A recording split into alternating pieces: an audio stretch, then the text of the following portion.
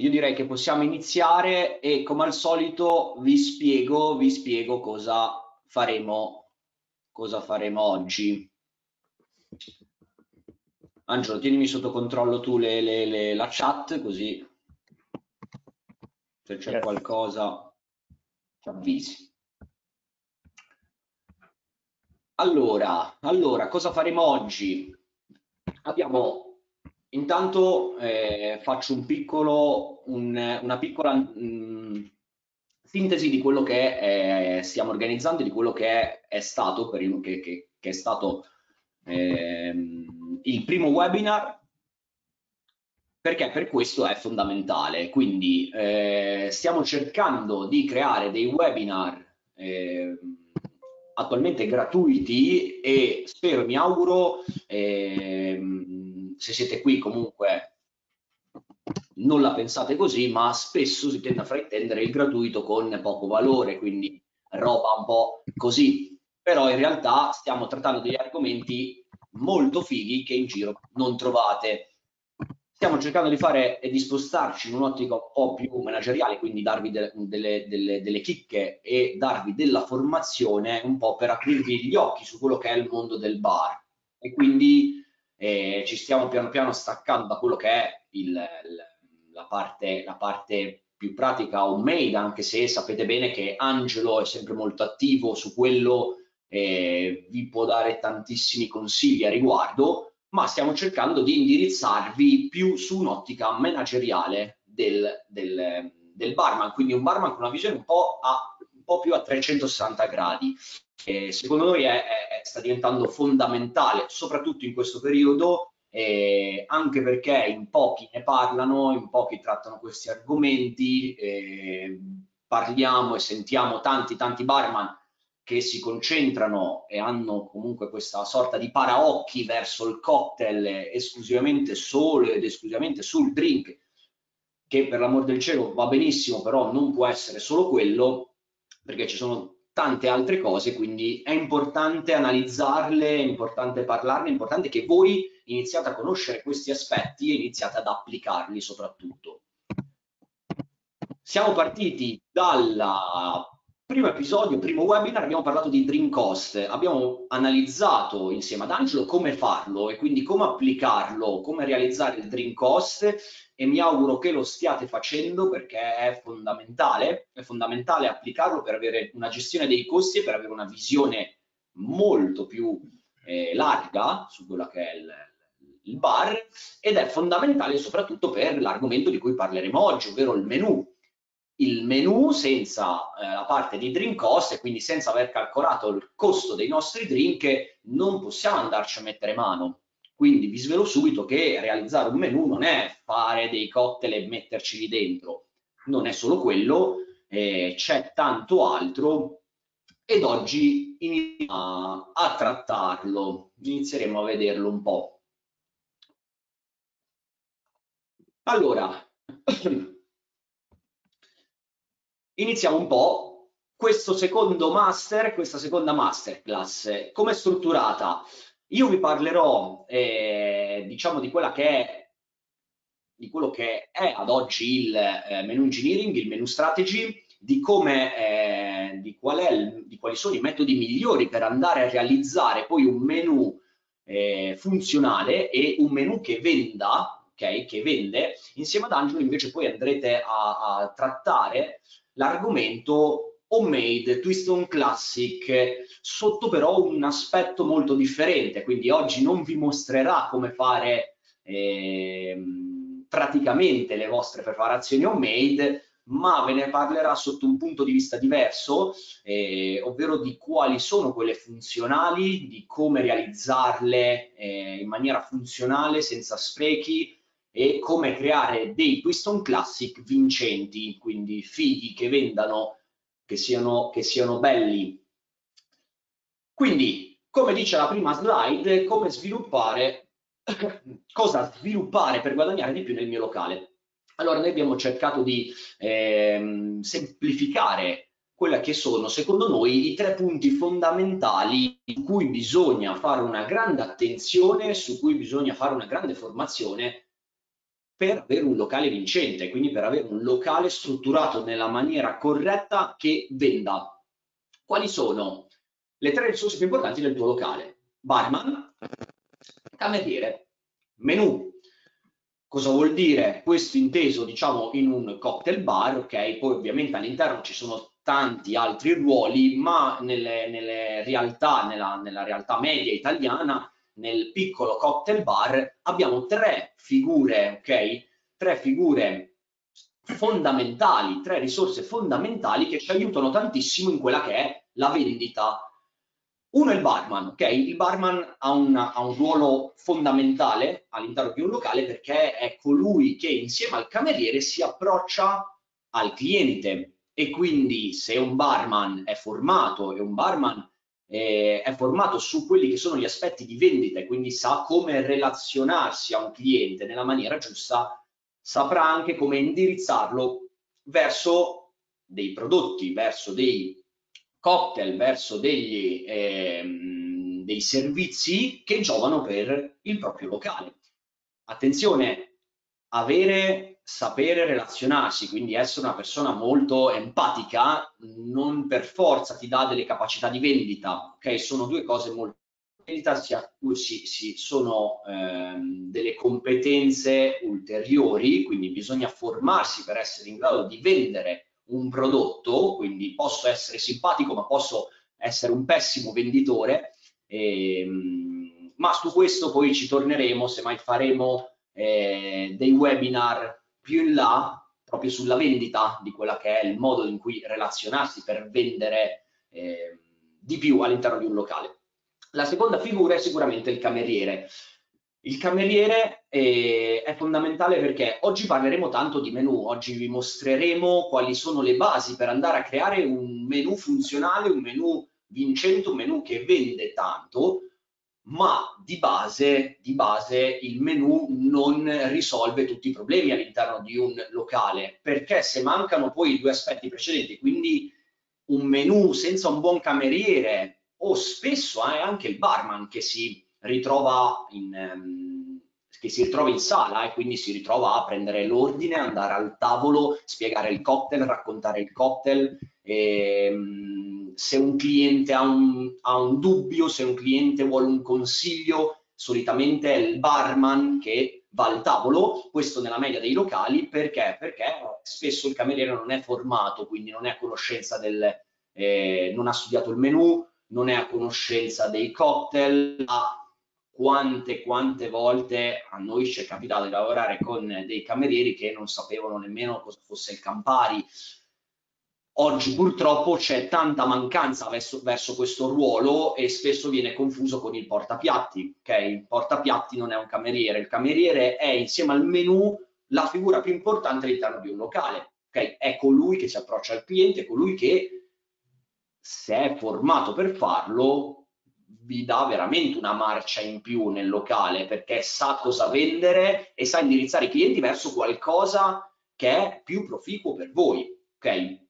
Quindi oggi parleremo tanto di menu, ma sappiate che il menu da solo non basta perché bisogna avere un'organizzazione importante all'interno del, del cocktail bar, un'organizzazione che comprenda anche queste altre due figure. Spesso, spesso, nel 90% dei casi, come vi ho detto prima, il cameriere non è formato per, non conosce i cocktail, non conosce le bottiglie, non conosce i drink, Cosa dobbiamo fare noi? Cosa dobbiamo fare? Cosa dovete fare? Eh, cosa dovete fare voi come barman? Dovete formarli, quindi dovete nel tempo libero sotto, semmai chiedete al vostro titolare, chiedete una riunione, chiedete eh, dei piccoli spazi dove eh, vi dedicate a quella che è la formazione dei camerieri, ok? Non durante il servizio, non quando apre il locale, vi mettete lì, gli spiegate al volo velocemente in 7 secondi cosa c'è scritto nel menu. I camerieri vanno formati. Visto che nella maggior parte dei casi sono, eh, sono persone che non sono molto competenti in questo lavoro, dategli una mano, ok? Voi come figure eh, manageriali come barman dovete formare le persone che stanno dentro il locale, formarle su cosa? Su il menu, quindi spiegarglielo in modo tale che siano in grado poi di raccontarlo al cliente, di venderlo al cliente. Ed arriviamo quindi al menu engineering. È una disciplina su cui ci siamo, ehm, su cui ci siamo specializzati io e Angelo da un po' di tempo a questa parte perché ne abbiamo, visti, abbiamo visto realmente il potenziale che ha questa disciplina all'interno di un locale. Abbiamo iniziato a, a fare consulenza, a creare molti menu e, e, e la differenza poi dentro un locale di un menu costruito secondo delle tecniche, secondo una disciplina, secondo delle regole, si vede, ok, rispetto a un pezzo di carta straccia come è nella maggior parte dei casi. Che cos'è quindi il menu engineering? È una, è una, ehm, una disciplina negli anni 80, quindi un po' di tempo fa, in Italia è arrivato recentemente, è arrivato molto dopo, come vi dicevo prima, in Italia arriviamo sempre un po', un po', un po in ritardo. È stata una disciplina che è stata inventata da due grandi esperti dell'hospitality. Okay? Questi due esperti, Michael e, e Donald Smith, cosa hanno, cosa hanno, ehm, cosa hanno previsto, diciamo, in questa disciplina? loro ritenevano che per un menu funzionale, quindi per un menu strategicamente perfetto, bisognasse lavorare su tre, su tre aspetti fondamentali. Il primo è la grafica, quindi un menu graficamente perfetto. Grafica vuol dire che no, non una bella grafica, sì, deve avere una bella grafica, ma non è fondamentale. Grafica vuol dire che graficamente, come posizioni drink, come li vado a evidenziare, come li vado a sottolineare, deve essere perfetto. Quindi non si intende una grafica dove vado a farci i disegnini o vado a metterci le palme e, e, e, o, o, o io che bevo un drink in spiaggia. Non è quello, ma è come vado a inserire i cocktail all'interno del menu. Il formato, quindi la dimensione del menu, ok? Non c'è solo il classico foglia 4 il menu pezzo di carta A4 ci sono più formati, i principali diciamo che sono tre, c'è il menu A4 monopagina, c'è il menu A4, A5, comunque monopannello, monopagina, c'è il menu bipannello, quindi classico libricino che si apre, oppure il formato a libro, i tre principali. Poi ovviamente ce ne sono altri. I tre principali sono questi qui. Il, il formato a libro è il classico, sono i menu diciamo un po' più dettagliati, un po' più lunghi. Terzo punto fondamentale è il copy. Non confondetelo col copyright, ok? Quella è un'altra cosa, ma il copywriting, ok? Il copy è una disciplina che eh, anche questa si studia, ok? E semplicemente in maniera molto semplice è come vado a scrivere, come vado a raccontare all'interno del menu i miei drink. Quindi se il cocktail è graficamente messo bene, il menu ha un formato corretto e la descrizione dei cocktail è inerente, quindi è fatta correttamente. Descrizione non vuol dire come descrivo la ricetta, non è solo quello, descrizione raccontando il drink o raccontando il piatto all'interno del menu. Se lavoro bene su questi tre aspetti, allora il mio menu mi darà tantissimi vantaggi, ovviamente su cosa? Sul fatturato, sul guadagno. Quindi a cosa serve questo menu strategy, noi l'abbiamo chiamato il nostro metodo, a influenzare le scelte del cliente, quindi di base quei tre aspetti che abbiamo appena visto servono per indirizzare il cliente verso un drink, indirizzare il cliente verso una scelta. Questa frase è fondamentale, è importantissima. Perché, perché nel 90% dei casi il, chi crea il menu o il ristoratore o il barman crea il menu, punto, non è che crea il menu con l'intenzione di influenzare la scelta di un cliente, vuol dire non è che crea il menu con l'intenzione di dire lo creo in modo tale che mi scelgano questa cosa, ok? E questo è un grave errore. Perché devo influenzare la scelta del cliente? Perché devo indirizzarla verso ciò che mi conviene, quindi verso a, a quello che conviene al mio cocktail bar.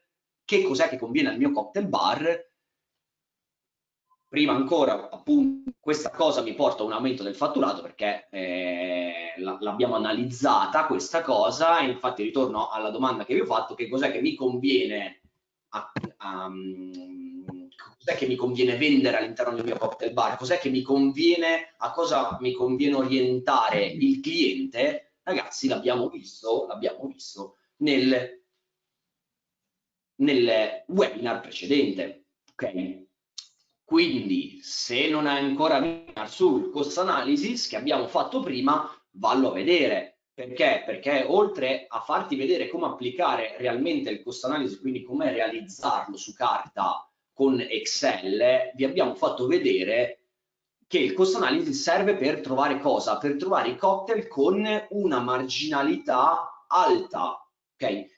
i cocktail con una marginalità alta, i piatti con una marginalità alta, i prodotti che vendo all'interno del mio locale con un'alta marginalità, sono quei prodotti che devo andare a vendere, devo cercare di vendere. Quindi saranno quelli che all'interno del mio menu avranno un ruolo importante, avranno un ruolo di, eh, di protagonista, ok? Quindi guardate il webinar sul cost analysis, se avete ancora dei dubbi su quello che è il drink cost e su quello che è il concetto di marginalità, perché è fondamentale. Senza quello io poi non posso andare a applicare delle regole ben precise al menu, quindi è fondamentale, è fondamentale calcolare la marginalità dei miei drink, che vi ricordo essere il prezzo di rivendita, quindi quello che eh, il prezzo a cui vendete i vostri drink, a cui deve essere sottratto il drink cost, quindi il cost analysis. Quello lì è il margine che vi dà, ok? Non è il guadagno, è il margine, si chiama marginalità. Quindi, una volta che io ho fatto il drink cost, quindi una volta che io ho calcolato, ho calcolato il, il margine dei miei cocktail e quindi so effettivamente, ce li ho scritti, ce l'ho nero su bianco, quali sono i cocktail con una marginalità più alta. Una volta che io so quello, ecco che inizia il menu strategy, ecco che inizio a mettere mano al menu, ecco che posso iniziare a mettere mano al menu. Quanti di voi hanno fatto un menu o hanno messo mano a un menu facendo questi step? Secondo me pochi, ok? Quindi cercate di farli. Il drink cost è una rottura di maroni, il drink cost è una noia, ci vuole della pazienza, mettersi lì a usare Excel è una gran rottura di palle, sì, sono d'accordissimo, ve l'ho già detto, ma è fondamentale, ok? È fondamentale farlo. Una volta fatto quello, ecco che arrivo al menu. Di base, quindi la base, menu strategy, la base, l'abbiamo chiamato, la regola di base è che io ho 180 secondi per indirizzare il cliente. Cosa vuol dire? Si calcola, si è calcolato nel tempo, ok, con vari eh, esperimenti su, su, sulle persone. Se non ci credete, potete mettervi voi lì col cronometro a calcolare e a prendere il tempo di quanto impiegano mediamente, diciamo, i vostri clienti a guardare il menu, ma di base è quello. Quindi la regola dei 170 secondi, 180 secondi cosa dice? Dice che un cliente di media impiega 180 secondi a guardare il menu, quindi a prendere visione del menu e questo fa la sua scelta spesso e volentieri non la fa, ok? Ma decide e sceglie in base a esperienze passate. Quante volte capita che andate a, a bere in un locale, siete andati a bere in un locale, vi sedete, guardate il menù, non trovate niente che vi piace, quindi prendete il solito, il classico gin tonic, oppure prendete il cocktail preferito, il whisky sour o lo spritz questa cosa spesso, la maggior parte delle volte, è dovuta dal fatto che il menu è fatto male, quindi il menu non indirizza in nessun modo a compiere una scelta, ok? E quindi succede che voi eh, scegliete quello che tendenzialmente prendete di solito. Quindi io ho poco tempo per indirizzare il cliente, questo tempo qui io lo devo sfruttare nella maniera migliore questo tempo qui lo devo sfruttare nella maniera migliore e lo riesco a sfruttare nella maniera migliore se applico delle regole okay, che stanno alla base della creazione di un menu. Okay? Quindi hai a disposizione circa tre minuti per indirizzare il cliente sul drink con la marginalità più alta. di nuovo questo termine, marginalità, di nuovo questo termine diventa fondamentale. Quindi quando io so qual è il cocktail, quali sono i cocktail con la marginalità più alta, io ho questa tempistica di media per indirizzare il cliente, ok?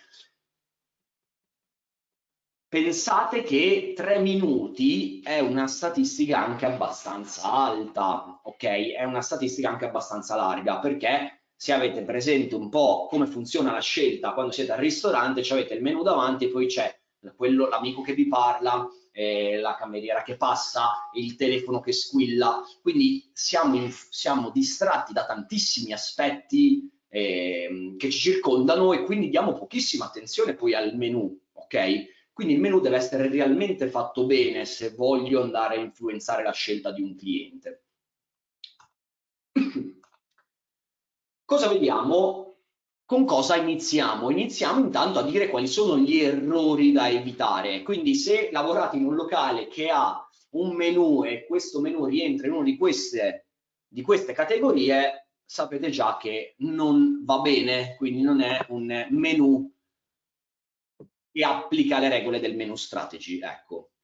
Allora, alla prima categoria, l'altra volta vi ho fatto le categorie dei, dei dei, delle citazioni dei barman, questa volta vi faccio le categorie dei menu. Il, alla prima categoria troviamo il menu senza stile, menu che secondo me hanno la maggior parte dei locali, ovvero un menu solitamente è, viene, viene, viene, fatto homemade, ok? Quindi parlando tanto, Homemade vuol dire che si mettono lì, lo fanno, lo scrivono su un pezzo di carta oppure lo fanno utilizzando dei programmi, eh, i più famosi Paint, ok? Ma dopo a questo ci arriviamo. Quindi un menu che dice niente, un menu che eh, dentro c'ha tutto ma non dice niente, ok? Quello diciamo che è la, la, la maggior parte dei casi nei locali trovo proprio un menu senza stile, quindi classico pezzo di carta con sopra i miei, i miei prodotti, con sopra quello che vendo, quello che offro, punto, fine. Alla seconda categoria troviamo i menu interminabili, quindi menu che sono composti da un'infinità di drink. Ragazzi, i menu interminabili li trovate ovunque. Quante volte vi è capitato di andare in, in un cocktail bar aprire il menu e partire da vodka lemon, gin tonic, gin lemon, vodka red bull, rum e cola, eh, aperol spritz, campari spritz, eccetera, eccetera, eccetera, eccetera, eccetera. Tant'è che uno al terzo drink chiude, ok, lo lascia lì e dice, vabbè, fammi il, il solito Negroni, ok, basta. Menù interminabili dal cocktail bar, così li potete trovare anche in pizzeria, ragazzi. Quante volte siete andati in pizzeria, avete aperto il menù, e parte, il menù parte da margherita rossa, eh, la focaccia, la margherita, eh, margherita più salsiccia, margherita più salsiccia e wuster, margherita più salsiccia. Ragazzi, è una roba, è una roba or orribile che non ha nessun senso perché se io vengo in una pizzeria, vado in una pizzeria io lo so che fai la pizza margherita, ok? Quindi non serve che me la metti in menù, oppure mettimela in forma diversa, mettimela descrivendola in maniera diversa, mettila aggiungendoci, e ne parleremo, un tocco particolare, unico, che hai solo tu, ok? Come posso distinguermi, come posso distinguere quella pizza margherita, se mai ho un impasto particolare, se mai ho degli ingredienti particolari, perché il pomodoro è quello che fa mia nonna, è quello che... È, da 30 generazioni è l'unico pomodoro inimitabile, ok? Metteteci qualcosa di differente. Quindi menu interminabili sono, eh, sono quelli più, quelli più um, problematici, ok? Ancora di più di quelli senza stile, perché almeno quelli tu metti lì due o tre robe, non ci metti niente, niente, e quindi riesci un po' a tutire, ma i, i menu infiniti, quelli lunghissimi, sono, sono, sono realmente, realmente problematici. Poi abbiamo chi vede oltre, il futurista, ok, che il menu non ce l'ha. Quindi tante volte siamo entrati nei locali eh, senza il menu, quindi mh, oppure, oppure chi diceva il menu era il, il cameriere, anche questa cosa qui è un, un eh, se il cameriere non è formato, se il cameriere non è preparato, quindi se non abbiamo formato apposta per farlo, è veramente un supplizio. Il cameriere che sta lì e ti elenca tutti i piatti e tu lì nel, nel giro di poco devi prendere una scelta, devi decidere perché non sai mica poi, poi, come funziona sempre dici guarda non mi ricordo cosa hai detto prima avevi detto i, i capelletti con i tortellini con... ok quindi se non ho formato il cameriere per farlo io il menù ce lo devo avere ok? È fondamentale.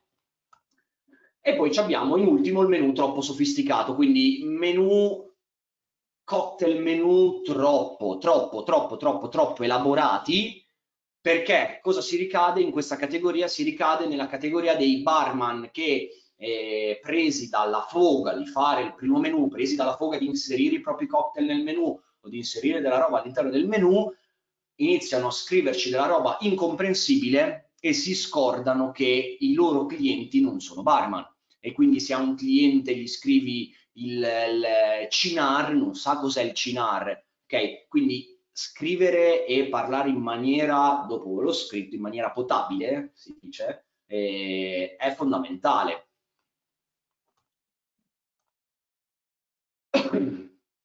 Quindi quelli sono quattro cose, quattro cose da evitare di, eh, di fare se voglio iniziare ad approcciarmi al menu strategy e a mettere mano al menu.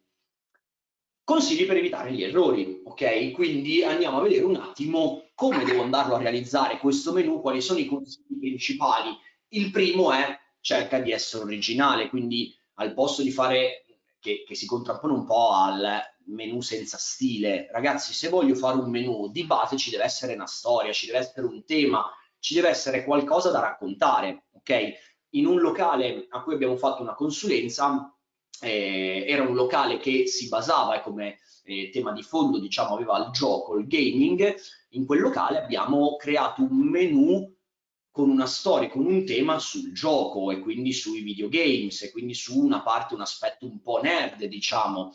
C'era un menu, abbiamo creato un, in, un, in un altro cocktail bar, abbiamo creato un menu tutto in stile giapponese, ok? Con una storia giapponese da raccontare, con dei cocktail che raccontassero quella storia, con ingredienti giapponesi. Era un menù differente da altre parti. Poi può piacere, può non piacere, ma sicuramente è originale, sicuramente è differente dal cocktail bar di fianco, ok? Quindi quello che dobbiamo fare è cercare di creare qualcosa di diverso, qualcosa che non sia replicabile da quello di fianco. Se, e vedete, quello di fianco fa le stesse cose, il locale di fianco fa le stesse cose, c'è un problema. Ok? Quelle, le cose che mettete nel menu dovete averle solo voi, cosa fondamentale. Quindi cercate di essere originali. Ah, piccolo appunto, per essere originali, anche qui ci vuole ricerca, ragazzi, ci vuole non è che bisogna essere per forza dei creativi, non è che bisogna essere per forza degli illuminati, ci vuole della ricerca. Il più delle volte quando dobbiamo creare un menu io e Angelo ci chiudiamo, iniziamo a ricercare argomenti su argomenti, andiamo in libreria, cerchiamo i libri, cerchiamo del, delle nozioni che possono essere interessanti. Ci vuole un po' di ricerca, ci vuole un po' di impegno su questa cosa, non, è, non, non piove dal cielo l'idea, ok? Secondo errore Secondo consiglio importantissimo, non incolonnare mai i prezzi, evitate, in, lì leggete, evitate la lista della spesa, cosa vuol dire? La lista della spesa è lo scontrino classico con tutti i prezzi incolonnati, con eh, prodotto, prezzo, prodotto, prezzo, prodotto, prezzo, prodotto, eccetera, eccetera. Questo metodo qui, a parte essere estremamente noioso dal punto di vista visivo, quindi all'occhio è estremamente è noioso leggerlo, quindi prendere, prendere visione di questo menu.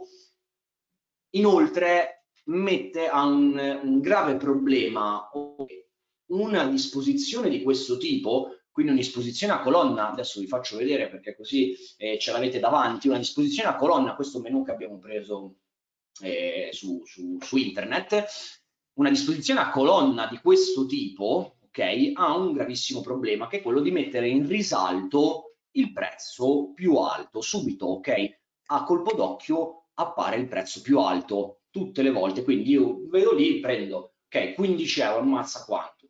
questa cosa crea problemi perché noi il prezzo più alto non lo dobbiamo mettere in risalto, anzi li dobbiamo nascondere. Quindi evitate questa disposizione, evitate questa disposizione della lista della spesa di incolonnare i prezzi perché vengono subito, vengono subito visti ehm, quello più alto, quello il piatto più costoso, l'occhio ricade lì, e su quello meno costoso, quindi su quello che, su cui probabilmente abbiamo un margine minore. Quindi non devo incolonnare i prezzi, non devo fare la lista della spesa, devo cercare di disporli in maniera tale che sia funzionale e che mi vada, l'occhio mi vada a cadere su un piatto ad alta marginalità, su un cocktail ad alta marginalità. Ok? Altro consiglio importantissimo è, ragazzi, le foto dentro questi menu metteteli in modo tale non nello schizzetto del drink, non eh, eh, eh, delle, delle, delle, abbiamo visto dei menu, c'erano di fianco, di fianco al, um, al, cocktail c'era l'immagine copia e incolla attaccata, presa su internet, cioè quella roba lì è, è veramente, ci sono de della roba che è, è inguardabile. Ragazzi, le foto, cosa importante, l'abbiamo sottolineato, mi raccomando, cercate di utilizzare immagini vostre, quindi investiteci un po' di tempo, investite un po' di tempo nel creare delle foto fighe, delle foto carine da utilizzare dentro i menu. Questo vale per i cocktail, questo vale per i piatti. Perché? Perché la foto ti proietta dentro il piatto. Se mi metti una foto di un panino enorme, bello lì, fatta bene, succolento, col bacon, la bisteccazza, eccetera, eccetera, io sono invogliato a prenderlo, lo vedo, ok? È chiaro che poi mi deve arrivare uguale, perché se poi dopo mi arriva la metà è un problema. Stessa cosa con i cocktail, ok? Mettetecela la foto del drink, fatelo vedere sto cocktail com'è, com'è, come non è mettetevi nei panni dei vostri clienti, ok? I clienti non sanno nulla, voi scrivete il menu in maniera estremamente complessa, non lo raccontate, non lo spiegate, ok? Poi vi lamentate se non lo comprendono, se non prendono i vostri drink.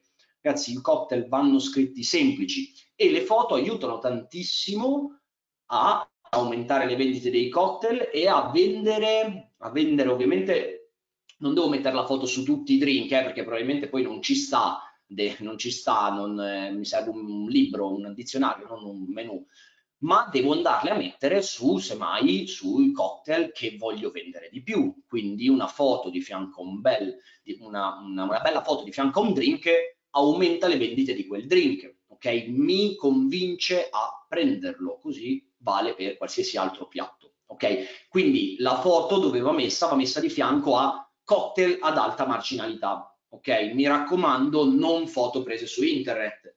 Ne abbiamo visti migliaia di, no, no migliaia no, però tantissimi eh, cocktail bar con foto prese su internet, riciclati comunque. Devi dire qualcosa? Sì. Ho sentito che stai... No, voglio specificare un attimo che anche se facciamo delle foto nostre, l'importante è farle fatte bene, cioè nel senso fare una foto con il telefono e dire che è nostra, eh, sì, è nostra, ma poi se fa cagare, cioè fa cagare, quindi a questo punto è quasi meglio non metterla. Eh, questi sono poi dei consigli, ragazzi, quindi non per forza adesso tutti i vostri menu devono avere una eh, foto di un drink all'interno o più foto, quindi eh, può essere un'opzione, ci sono tanti consigli che possiamo analizzare, può essere un'opzione inserire delle foto. Se decidete di farlo, a mio avviso, affidatevi sempre a una professionista, a un professionista. Quindi uh, fare delle foto fatte bene rispetto a foto fatte male fa la differenza. Quindi state attenti, non, non vi improvvisate fotografi. Tutto qui, Gabri. Sì, tante volte, tante volte si, si, mh, si investe il budget, quindi si investe e si spendono soldi in cose non essenziali quando eh, tipo, non so, comprarsi eh, ma, com, maniacali a comprarsi il, lo shaker da 6.000 euro quando posso investirne 200 in, una, in un'ottima fotografa a fare delle, che, che mi faccia delle, delle, belle foto, che poi che se le metto nel menu o non le metto nel menu va bene, ok, io vi consiglio di metterle, se non le mettete comunque le potete utilizzare per sponsorizzare il vostro locale, quindi per, per raccontarlo, per farlo vedere, quindi non sono mai, eh, non sono mai buttate. Attenzione, cercate di evitare di fare questi due errori. Quindi abbiamo visto un po' di consigli, abbiamo visto eh, un po' di errori. Queste sono due cose che ehm, ci teniamo tanto a, a, a, sottolineare perché sono le due cose che vediamo fare di più, sono due cose su cui ci battiamo un po' di più perché poi quando andiamo a fare consulenza convincere un ristoratore, convincere un imprenditore ad affidare il proprio menu a un grafico diventa veramente una, una solfa infinita. Ragazzi, non improvvisatevi i grafici, ok? Perché, perché eh, fare il grafico è un lavoro, ok? E rientra secondo me nello stesso discorso che faceva prima Angelo, che facevamo prima, di investire, investire un po' di budget in maniera sensata quindi al posto di eh, comprare la, la, la, sedia con i diamanti in velluto all'interno di un locale, li investo in un grafico. Adesso ragazzi sto scherzando, però no, non costa, non costa eh, 10.000 euro affidare il menu a un grafico, però realmente vi, se, ovviamente deve essere indirizzato il grafico, ok? Non è che gli date il menu e dite fammelo e, e, e creami il menu. Eh, il menu perfetto, va indirizzato, ma se lo sapete indirizzare fate fare un grafico, fate fare il menu a un grafico, mi raccomando, perché una delle cose che vediamo di più è fare il menu, realizzare il menu con Word, ok, e con Paint. Una, se non ci credete, basta che andate su Google, ok, basta che andate su Google e se non lo sapete, se voi iniziate nella barra di ricerca, vi butta giù tutte le ricerche più, ehm, diciamo, quelle eh, le, le ricerche maggiori che vengono fatte dalle persone. Se scrivete creare un menu, scrivere un menu, eccetera, eccetera, la prima cosa che viene fuori è scrivere un menu con Word. Cioè, questo vuol dire che le persone cercano come scrivere, come fare un menu con Word. Cioè, ragazzi, questa, questa cosa qui è, è, è, una roba folle, è una roba assurda, perché non, non dedicare una piccola e realmente nella gestione di un locale è una, una fetta minima, quella de, de, del, del, pagare un grafico per fare un buon menu, ok? Non dedicare una piccola parte di budget a questo è, è da folli, quindi non fate menu con Word o con Paint, anche se siete dei professionisti di Paint, ok? Eh, non, non, fatelo, affidatevi a un grafico oppure se siete dei fenomeni di Photoshop, eh, video editor e tutta quella roba lì, fatelo voi se siete, se siete sicuri di voi stessi, ma cercate di affidarvi a una persona competente. Non essere tecnico nel descrivere i cocktail, ve l'ho già iniziato a dire prima, ve l'ho anticipato prima, scrivi potabile, ok? Scrivi comprensibile. Adesso vi faccio vedere un esempio, ok? Ehm, cercate di scrivere i cocktail in maniera comprensibile, perché non ci avete davanti tutti i barman, le persone che vengono nel vostro locale non sanno e non sanno cos'è il Saint Germain, ok?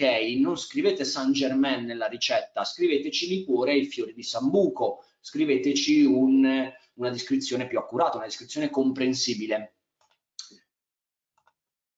Andiamo a fare un esempio. Questo esempio di copy, ok? Non è il copy, ragazzi, non è solo questo, questo è un 1% del copy che però potete già iniziare ad applicare da subito e scoprirete che le persone sono molto più propense a, ehm, a, a scegliere e a prendere i vostri drink. Perché? Perché non si sentono stupide nel leggerlo, quindi non si sentono ignoranti, quindi vanno, non, non, non vanno sul, sul quando, quando leggono un drink e non lo capiscono, le persone vanno sul sicuro, vanno su quello che conoscono, vanno su quello su cui sono certi, su cui hanno certezze, quindi succede che poi i cocktail, il vostro menù, non li prendono perché non li capiscono, non sanno cos'è il pesce, il pescio bitter, il pechauts, c'è, c'è chi dice pechauts, c'è chi dice page, cos'è il pie, quindi il, lo chasalé, il, il, il cinar, ok, questo è un esempio di cocktail con, che abbiamo, che abbiamo eh, creato, che abbiamo messo lì, voi probabilmente li conoscete questi prodotti, il 90% delle persone, anzi tutti quelli che non fanno questo mestiere no, ok? Quindi un cocktail del genere, come lo devo scrivere? Lo devo scrivere in questa maniera, ok? Gin Premium Bombay, ok, ci sottolineo il gin, posso sottolineare la dicitura premium, ok, per dare più valore, più importanza a quello che è il, il drink e il distillato. Cinar diventa amaro al carciofo, che io comprendo, ok, anche se non sono un esperto eh, barman, comprendo che amaro al carciofo so cosa vuol dire, so cos'è il carciofo, so cos'è un amaro, ecco che e, e, e Chasalet diventa vermouth dolce, bitter Campari l'abbiamo tenuto così, abbiamo aggiunto la parola bitter, ok? Anche perché diciamo ci sono alcuni termini che sono internazionali, eh, sono, sono Campari, Aperol, sono cose che ormai conoscono tutti. Pescio bitter l'abbiamo trasformato gocce di bitter floreale, per esempio.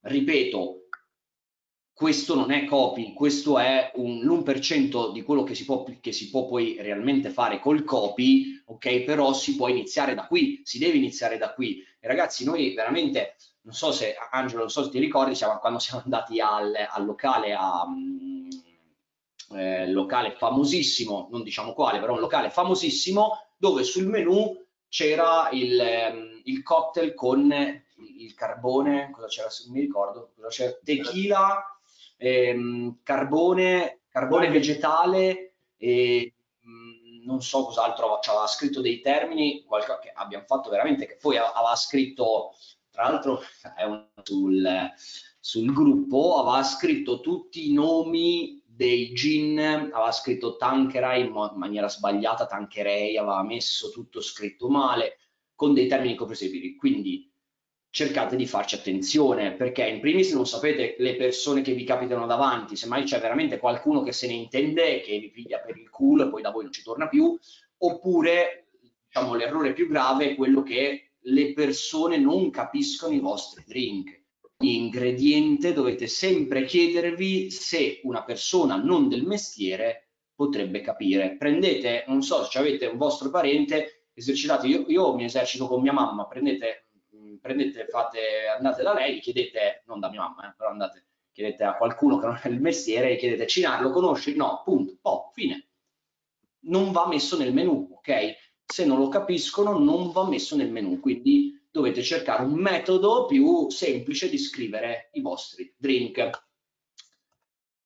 Il menu da solo non basta, ok? Come vi dicevo già prima, come vi anticipavo prima, il menu da solo non basta sicuramente è, il, è, è, è iniziare ad applicare alcune di queste cose vi dà già una marcia in più rispetto a tantissimi altri locali. Ma quello che eh, vi consigliamo di fare, quello che dovete iniziare a fare, e ci vuole anche lì molta voglia, molta pazienza, perché spesso ehm, il titolare o chi ci abbiamo sopra non prende in considerazione queste cose ovvero fare formazione interna, fare formazione del personale, non gli dà peso. Quindi quello che vi consigliamo noi è cercare di indirizzare, provare a convincere in maniera, eh, non fate a botte, ok, ma in maniera funzionale, cercate di convincere il vostro titolare che è importante fare formazione interna, quindi dedicare, non lo so, un'ora prima dell'inizio del, della giornata lavorativa o un'ora dopo la fine della giornata lavorativa, tipo adesso che si stacca che eh, i locali chiudono presto, posso dedicare questo tempo a fare formazione del personale o successivamente quando riapriranno, semmai al posto di attaccare alle 5 il martedì si va tutti quanti alle 4 e quest'ora qui la dedichiamo a fare formazione interna, ok? Fare formazione non vuol dire che voi dovete, solo voi dovete fare formazione, ognuno semmai avrà qualcosa da ehm, qualcosa da suggerire, un problema che è venuto fuori, voi fate formazione sul menu, un cameriere vi può fare eh, notare degli errori che ci sono nel, durante il servizio. Comunicazione, ragazzi, comunicazione e formazione sono due cose che mancano dentro i locali, ok? Cercate di portarcele, cercate di riuscire a parlare persone. In questi giorni vi sto mettendo tantissimi articoli di come eh, di come si diventa un buon manager, ok? Di base c'è la comunicazione, di base se non so comunicare, se non so parlare con le persone e se alla prima critica eh, finisce che eh, mani addosso è un problema, ok? Spesso i barman, almeno la maggior parte di quelli con cui mi sono trovato a lavorare io, sono estremamente arroganti, molti, molti, e quindi bisogna cercare anche un po' di livellare quello che è la nostra personalità e fare comunicazione. Comunicazione, formazione, ok? Se fatte correttamente, se fatte correttamente, sono cose a costo zero, ok? Perché si possono fare anche se uno ha della buona volontà, se avete della buona volontà, si possono fare anche eh, non retribuite, dedicare un'ora, ok, a settimana a fare questa cosa e vi portano tantissimi benefici, ok? Sia voi personalmente, ok? Perché avete una crescita eh, personale se lo fate con un obiettivo ben preciso, ovvero quello di semmai migliorare la comunicazione, aumentare la vostra, eh, le vostre tecniche manageriali o crescere sotto quell'aspetto, non, sono, non è mai tempo buttato, non è mai tempo buttato. Quindi importante. Prequel, abbiamo visto gli errori da evitare, abbiamo visto i consigli da iniziare a applicare eh, subito sul menu, ok?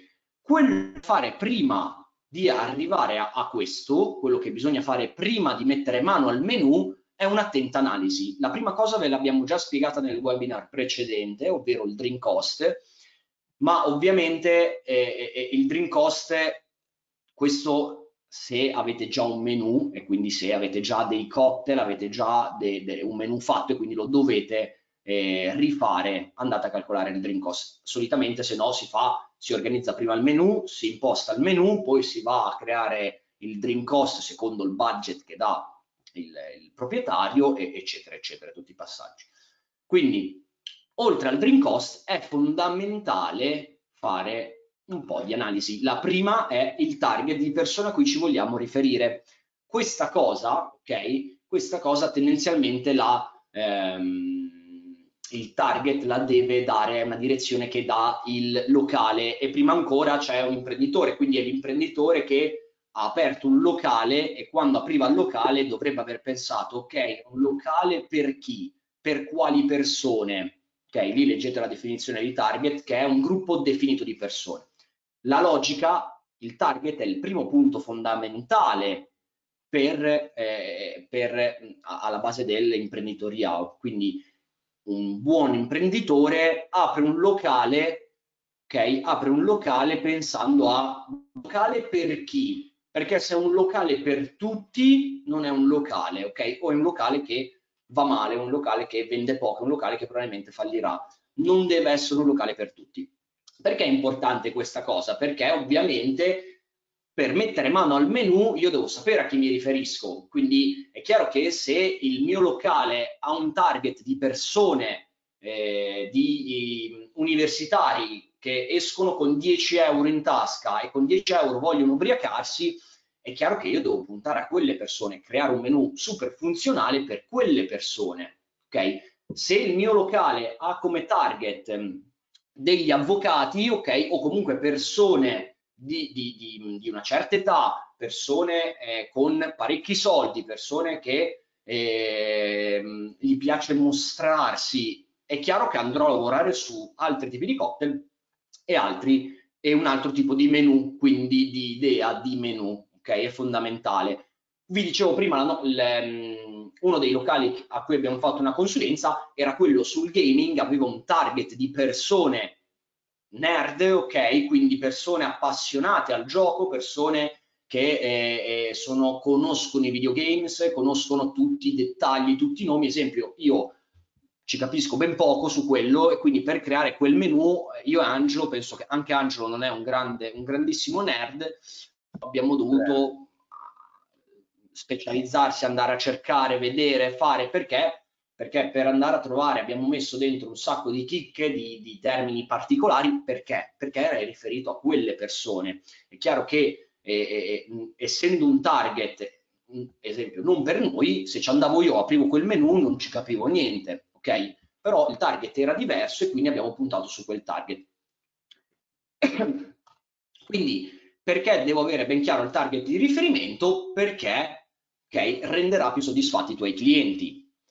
Perché se io ho un locale ben preciso, nella maggior parte dei casi ragazzi considerate che i locali non hanno un target di, de, di riferimento quindi non hanno un target definito di persone, i locali generalmente sono locali, quindi per chi è il tuo locale, un po' per tutti, quindi eh, dal, dal, diciottenne al um, settantenne prendo tutti, ok? Cerco di prendere tutti, cosa succede alla fine? Non prendo nessuno. Quindi se riesco a avere ben chiaro il target del mio locale e lo devo cercare, ecco che posso andare a realizzare un menu su quel target e i miei clienti ovviamente saranno più soddisfatti perché i clienti di quel, di quel cocktail bar basato sul gaming che andavano lì erano sicuramente molto contenti di vedere un menu creato apposta per loro, ok? Quindi un target ce la danno queste tre recensioni che vi ho messo, vi ho voluto sottolineare perché eh, sono tre recensioni che ho trovato in internet e sono, ci fanno capire molto bene di cosa vuol dire target sbagliato. Prima recensione, posto fantastico, servizio ottimo, piatti squisiti, super consigliato, ci tornerò sicuramente. Altra recensione, locale bellissimo, servizio veloce, piatti molto buoni, prezzi però troppo alti. Terza, eh, terza recensione, proprio eh, pessimo, ok, speso 50 euro a testa, troppo, prezzi spropositati, non ci tornerò mai più. Sono tre persone che però sono andate tutte e tre nello stesso locale. Quindi qual è il problema? Il problema è che due di queste tre persone in quel locale, nel vostro locale, non ci devono venire, perché poi dopo cosa succede? Che il vostro menu diventa un menu, un menu fatto male, diventa che i cocktail costano troppo, diventa che avete, avete sbagliato un po' tutto quanto. Quindi sbagliare il target è veramente un grave problema poi per tutti gli step che vengono dopo.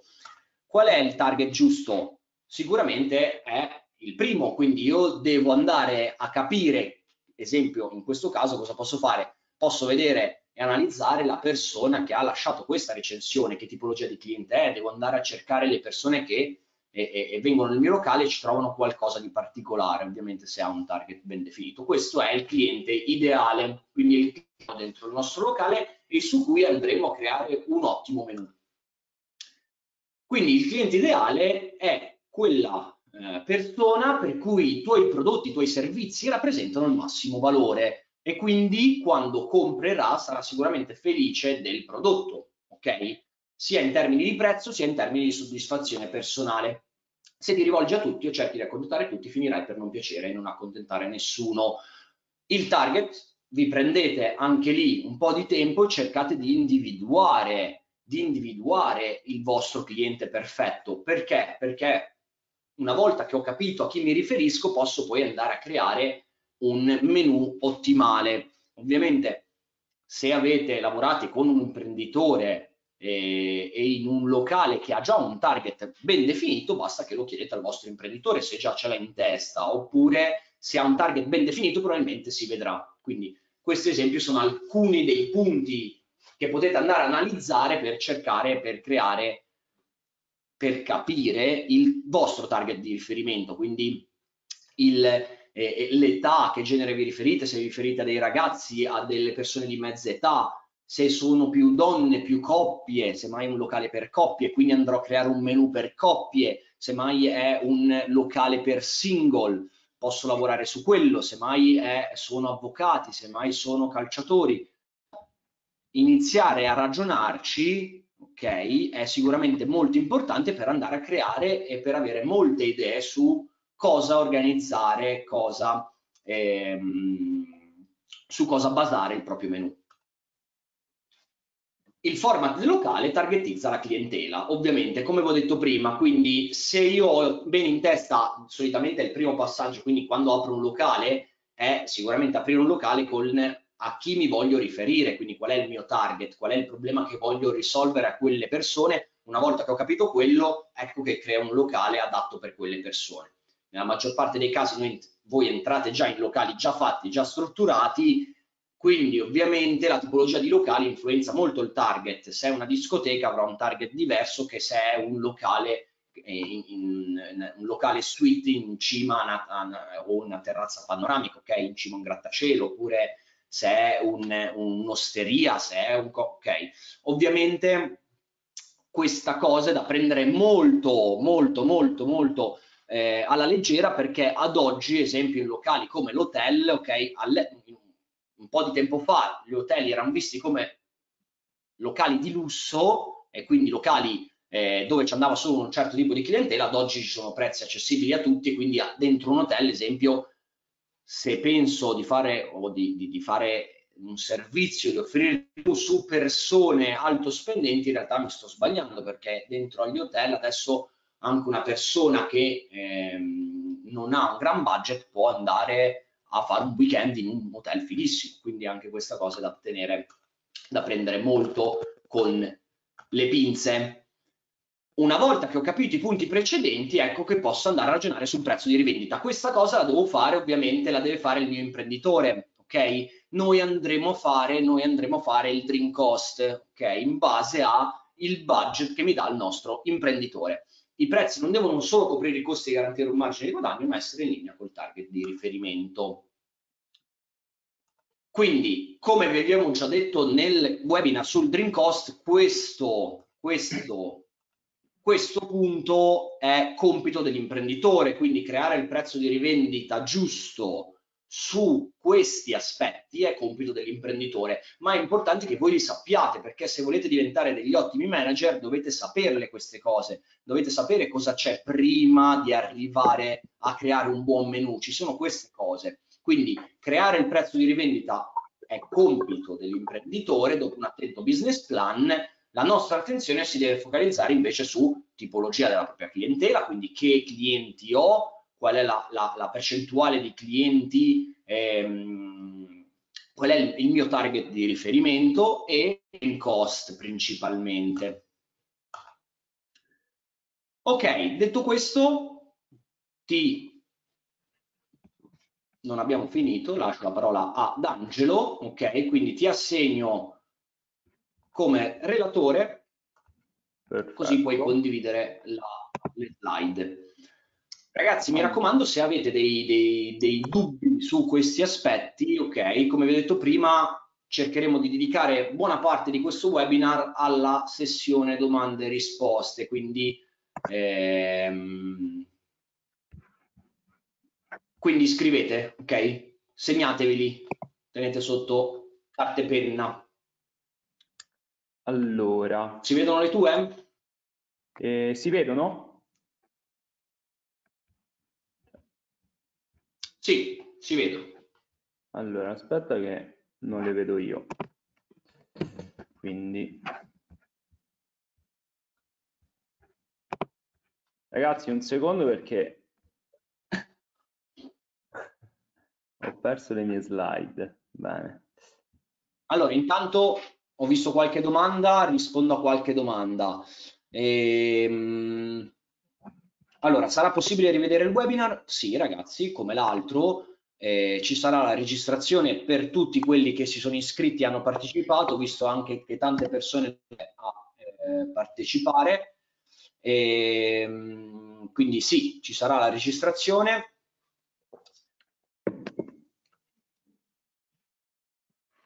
Gabri. Sì? Si vedono le slide? Sarà possibile rivedere? Sì, ragazzi. Sì, si vedono, si vedono. Sì, la registrazione ragazzi la rivedrete, sarà possibile rivederlo ehm, come l'altro, quindi riguardatevelo poi con calma su quella parte lì, sono andato veloce su qualche punto. Ehm, ci sei? Io sì. Vado? Ok. Allora Dai. lascio la parola a Angelo, ragazzi. Perfetto, ragazzi. Eh, ci siamo divisi tutti questi webinar in questo modo. Inizia Gabri, completo io. Allora, spero di fare una lezione un po' meno, eh, tra virgolette, noiosa dell'altra volta. Un po' più pratica. Che cosa?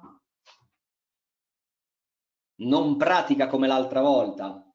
Esatto, sì, noiosa, pratica quando si parla di cost analysis non è mai uh, bellissimo.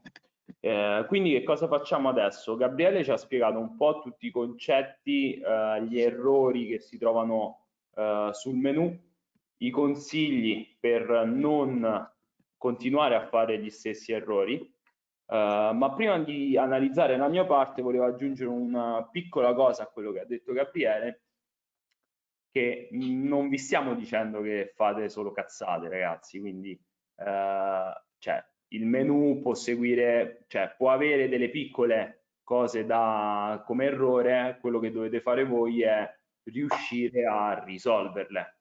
Quindi eh, non per forza stiamo dicendo che tutti i vostri menu che avete fatto fino adesso sono completamente sbagliati. Ci sono sicuramente dei piccoli errori su cui possiamo eh, migliorare. Allora, quindi Gabri ci ha parlato un po' di tutta la parte eh, di ragionamento che c'è dietro, arrivando a un punto che ho un tema, quindi ho creato un tema originale del, del mio menu, che cosa devo fare? Devo andare a realizzare i drink, quindi entra realmente in gioco quella che è fino ad oggi la parte che ci interessa un po' di più. Uh, a che cosa serve creare dei drink? Serve per andare a differenziarci e in questa parte che, mi, che curerò io andremo a capire come riuscire a farlo seguendo però una logica ben precisa. Per fare questo c'è bisogno di uno storico, ragazzi. Che cosa significa uno storico? Ogni locale, come dice la slide, deve avere uno storico di drink venduti. Questo eh, nel 99%, anzi posso confermare nel 100% dei locali che ci sono, soprattutto in Italia, non avviene. Ne abbiamo parlato tantissimo la scorsa volta. Quello che vi posso consigliare, quello che vi possiamo consigliare da quando riapriremo, perché ad oggi questa è una situazione un po' anomala, da quando riaprirete i vostri locali e quindi tornerete dietro a un banco bar, iniziate a segnare quali sono i vostri drink più venduti. Come si può fare? Se avete un registratore di cassa tecnologico, lo fa da sé. Quindi se avete già un registratore di cassa che ha questa funzionalità, ben venga. Se uh, non ce l'avete, quindi avete una cassa manuale, dovete trovare un modo di uh, far segnare o alla vostra cassiera o proprio voi stessi i drink che uh, vengono richiesti. Questo perché avere uno storico di drink venduti è la regola fondamentale per rendere un menu strategico. Senza uno storico non è possibile capire come realizzare delle stelle, dei cavalli da tiro e nelle sfide. Nel webinar uh, scorso, ragazzi, che abbiamo analizzato il Drink Cost abbiamo visto una matrice, quindi un, un piccolo grafico con quattro tipologie di drink. Stelle, che sono quei drink con alta marginalità e alta popolarità, cavalli da tiro che sono quei drink super bevuti ma con una bassa, eh, con una bassa marginalità, le sfide che sono un'alta marginalità ma con eh, una bassa vendibilità, quindi su cui investire del tempo, e i flop. I flop, come eh, da slide, se non ho uno storico non riesco neanche a capire quali, è, quali sono e qual è il flop del mio menu. Personalmente, quando ho lavorato eh, senza calcolare i drink che vendevo, non avevo proprio il controllo di quello che eh, utilizzavo quello che vendevo, quello che restava fermo, quanti me ne chiedevano e via dicendo. Quindi eh, senza questo storico non è possibile ingegnerizzare un menu. La prima domanda da porsi quindi qual è? Quali sono i drink più venduti nel mio locale? Tra classici, quindi dovete analizzare anche le richieste che il cliente vi fa come Aperol Spritz, Gin Tonic, Whisky Sour, Vodka Sour e via dicendo, e quali di quelli presenti nel vostro attuale menu. Che cosa vuol dire? Che i clienti, ragazzi, come diceva bene Gabriele prima, non ordinano sempre dei drink dal menu, va bene? Quindi se voi ad oggi avete un menu con delle vostre rivisitazioni, quindi con dei vostri twist on classic, dei drink creati appositamente da voi, dovete sapere più o meno quali sono quelli più venduti. Quindi oltre a calcolare quali sono i classici più venduti, dovete analizzare anche i drink presenti sul menù. Il risultato, ovvero i numeri che vi usciranno, indicano esattamente la via da seguire per la creazione delle vostre stelle, ovvero quei drink con un un'alta marginalità e un'alta popolarità. Come si fa? Qui vi ho messo degli esempi, ma che sono realmente gli esempi dei numeri messi così, di una decina di drink.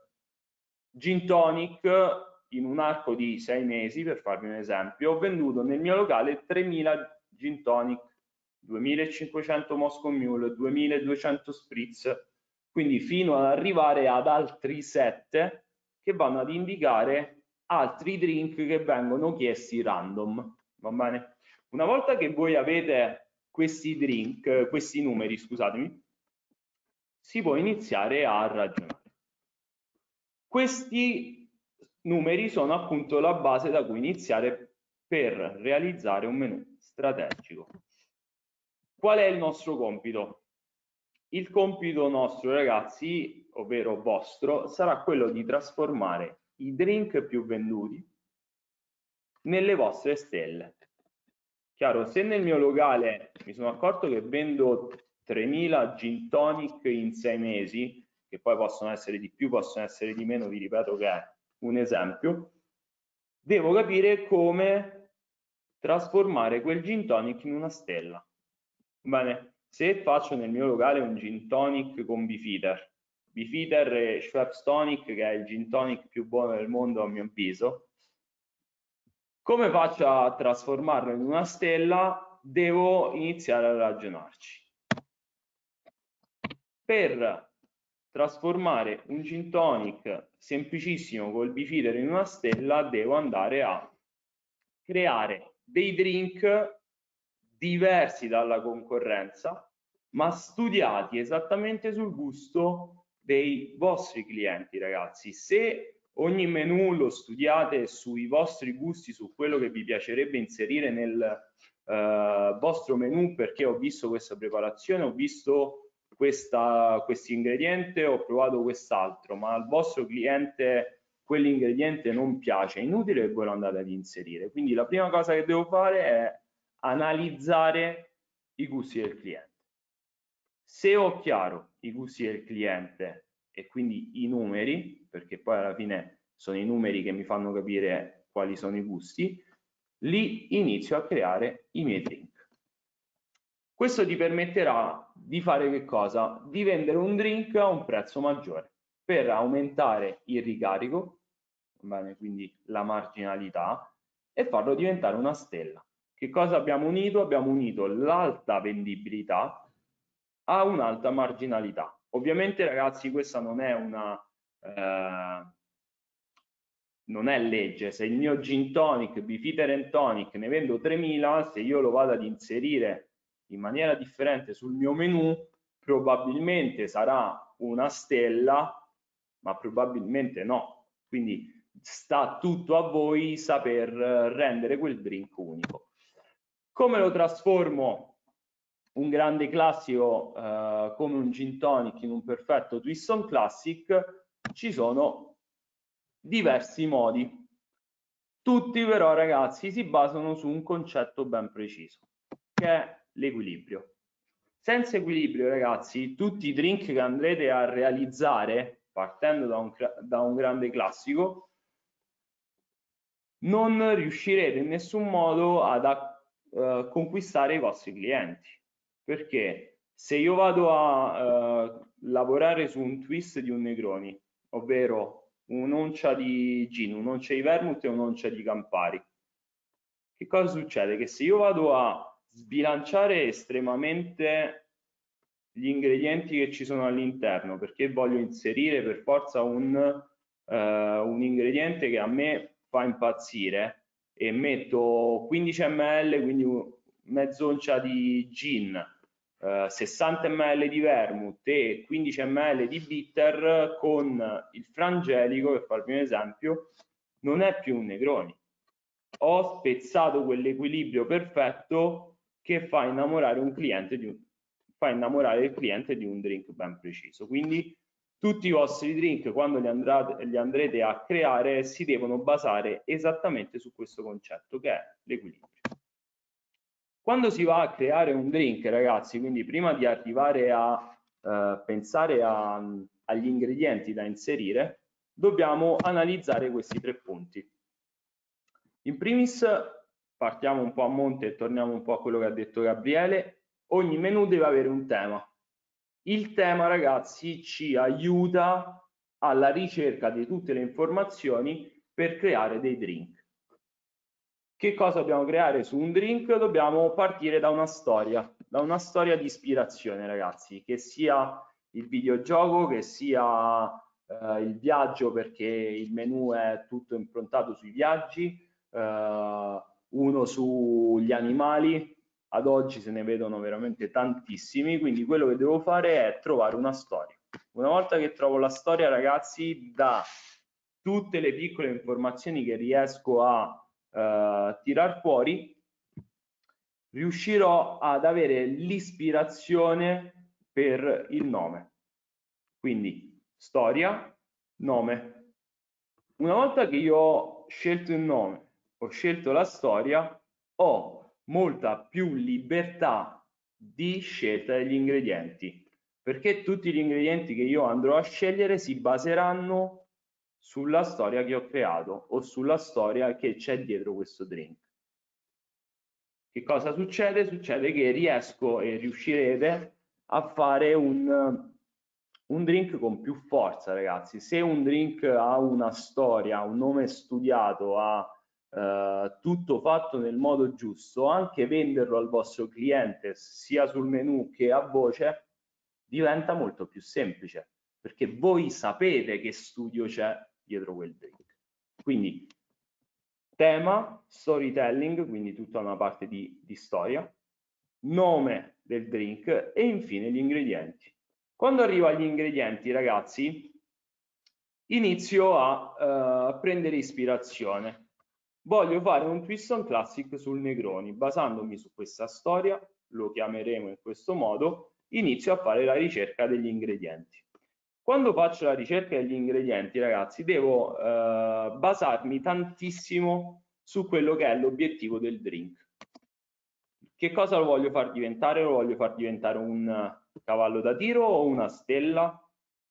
Qual è il target? Qual è la zona del locale? Qual è il prezzo di rivendita che devo avere nel mio locale? Quindi devo analizzare in precedenza tutti quegli aspetti che vi ha elencato Gabriele perché se io vado a creare uno storytelling, un nome e iniziare a scegliere gli ingredienti per poi venderlo a 12 euro, ma la mia clientela è totalmente universitaria che prende i drink a 2,50 euro, sto sbagliando tutto praticamente. Va bene? Quindi ci dobbiamo basare su tutto quello che abbiamo visto prima e lavorare di conseguenza. Iniziamo a parlare di drink proprio come farli praticamente, ragazzi. A mio avviso, quando dovete approcciarvi, vi siete già approcciati, eh, ognuno di voi avrà delle esperienze diverse, quando dobbiamo andare a rivisitare, quindi a fare un twist on classic di un drink classico, perché se ci pensate ragazzi, anche se potete pensare tutte le combinazioni più assurde del mondo, analizzando dettagliatamente un eh, vostro signature drink, come ci piace tanto chiamarlo, vi accorgerete che assomiglierà in qualche modo a un classico già esistente. Se vado ad utilizzare un drink, a creare un drink con una parte di alcol, un liquore, uno sciroppo, una parte di, ehm, di agrume e una spuma, ho fatto un signature fantastico, poi vado a vedere che cos'è un sour con una spuma sopra.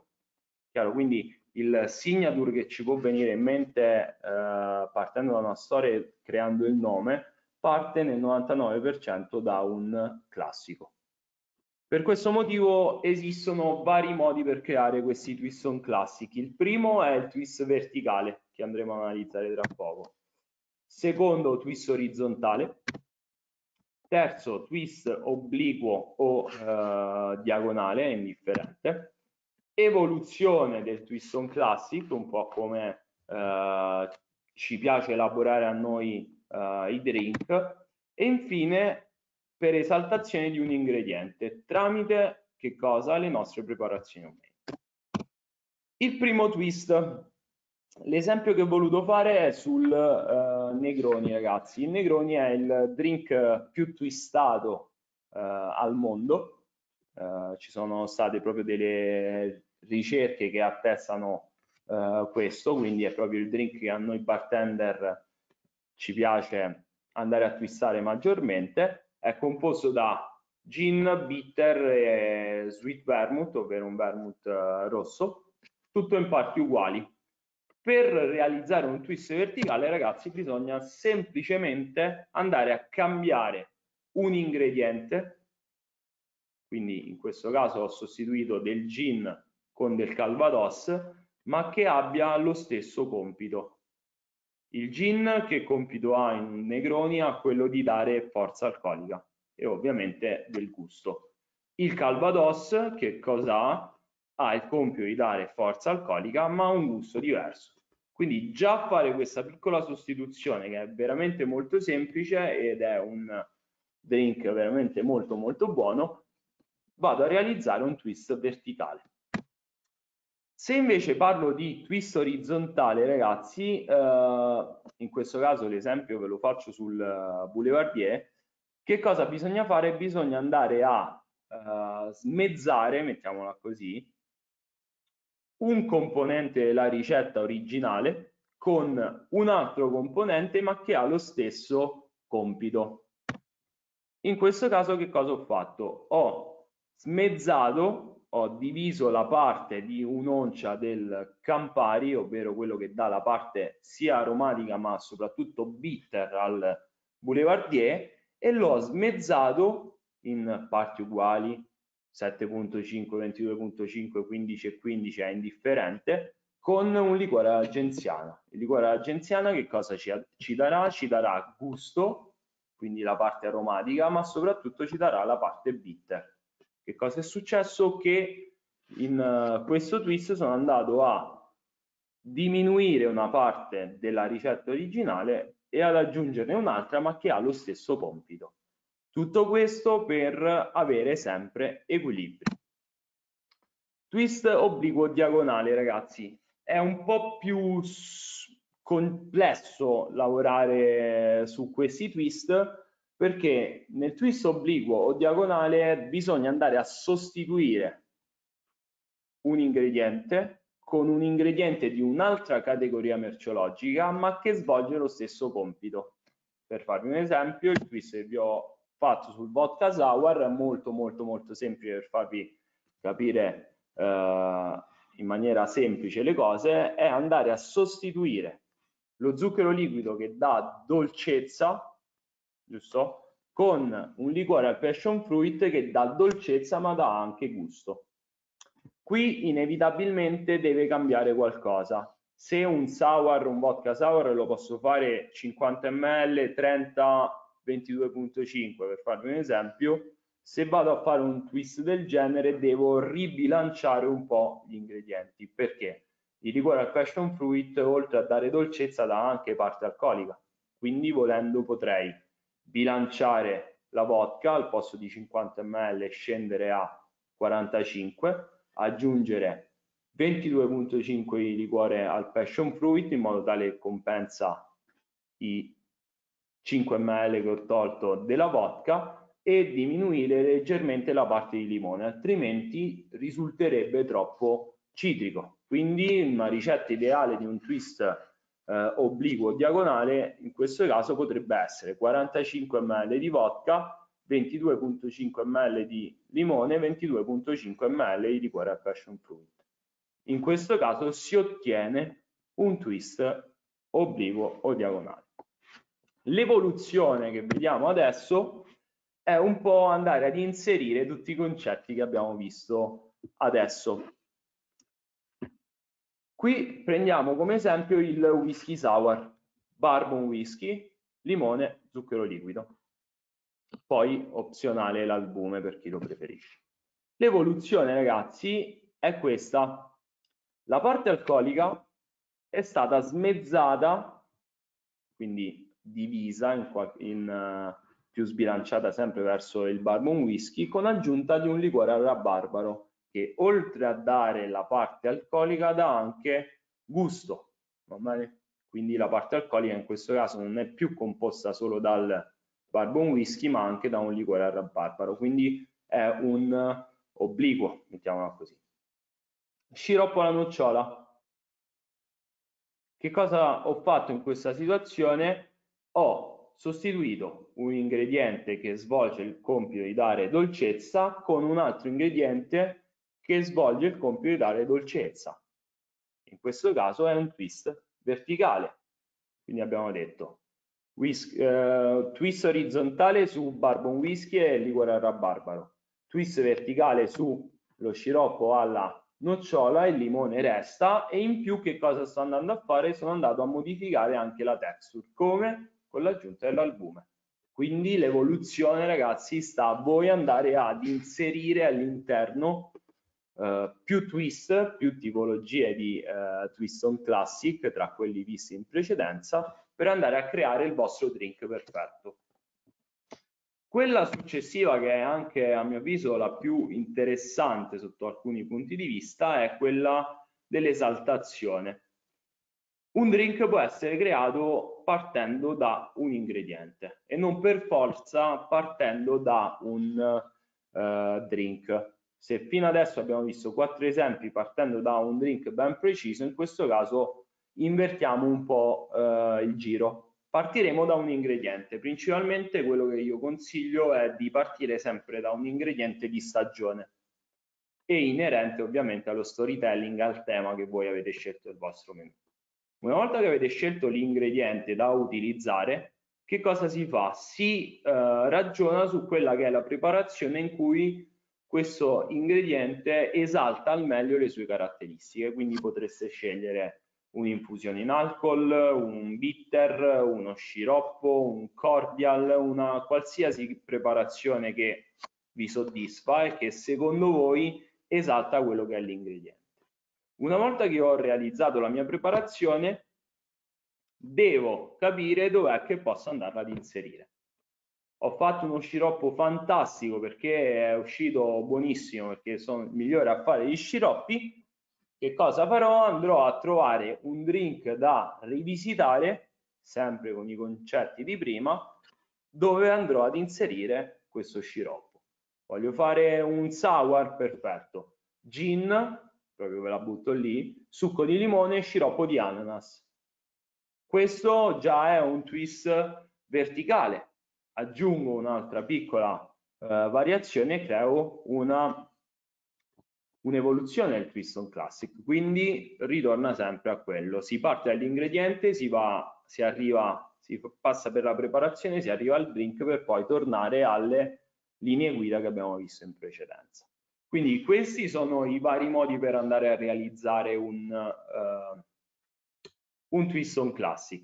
Più è uh, appetibile, più è studiato alla perfezione, ragazzi, più possiamo aumentare quella che è la marginalità. Come? Cercando di stare sempre su un drink cost controllato, quindi voi sapete già qual è più o meno il vostro budget e qual è il prezzo massimo di rivendita e dovete essere in grado di abbassare nettamente quello che è il drink cost e questo non vuol dire andare ad utilizzare dei prodotti scadenti, chiaro? Cioè, lungi da noi eh, spingervi a scegliere un prodotto, passatemi il termine, di merda.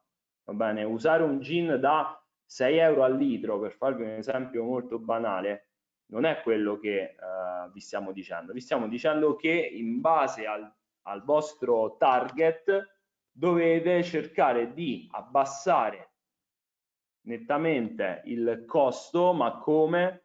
Facendo un drink più appetibile con le preparazioni, con il copy, con il posizionamento e tutto quello che abbiamo visto prima per permetterci di venderlo a un prezzo maggiore. Tutto qui. Se vi becco utilizzare il Lion Earth della Lidl, vi spacco la testa, scherzo, parte gli scherzi, però il concetto è questo. Adesso invece andiamo ad analizzare eh, l'aspetto che a me personalmente mi stuzzica un po' di più e immagino la gran parte di voi, le preparazioni homemade. Le preparazioni homemade sono fighissime quanto eh, problematiche, perché molte volte ci spingono a fossilizzarci solamente su di esse e dimenticarci tutto il resto. Ad oggi eh, si vedono fare preparazioni super esagerate con degli strumenti che un locale non si può neanche permettere che vanno dai 5.000 ai 10.000 euro eh, per eh, il rotavapor della, della situazione, il sonicatore, cioè ce ne sono veramente tantissime tipologie che nel 99% dei locali italiani non ci possono entrare, ragazzi.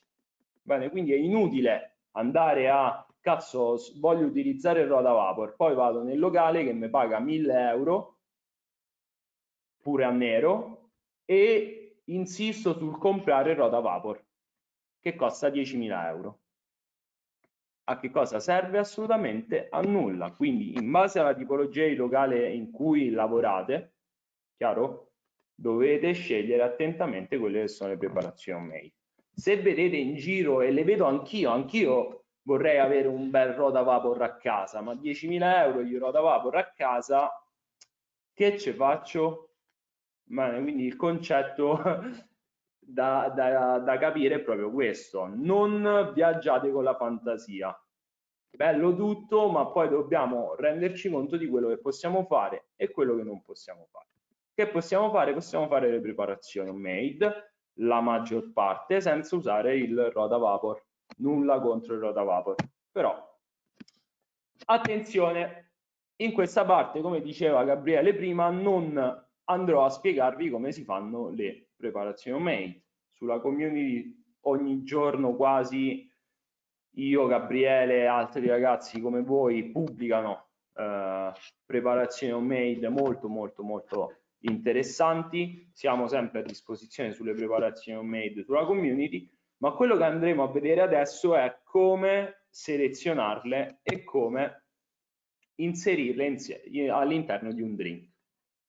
Vi ripeto, Nell'altro corso abbiamo visto, lo ripeto un'altra volta, quattro tipologie di drink, stella, cavalli da tiro, sfide e flop. I flop dobbiamo evitare di inserirli nel nostro menu, quindi con l'analisi dei dati riesco a togliere quelli che sono i drink che non vendo.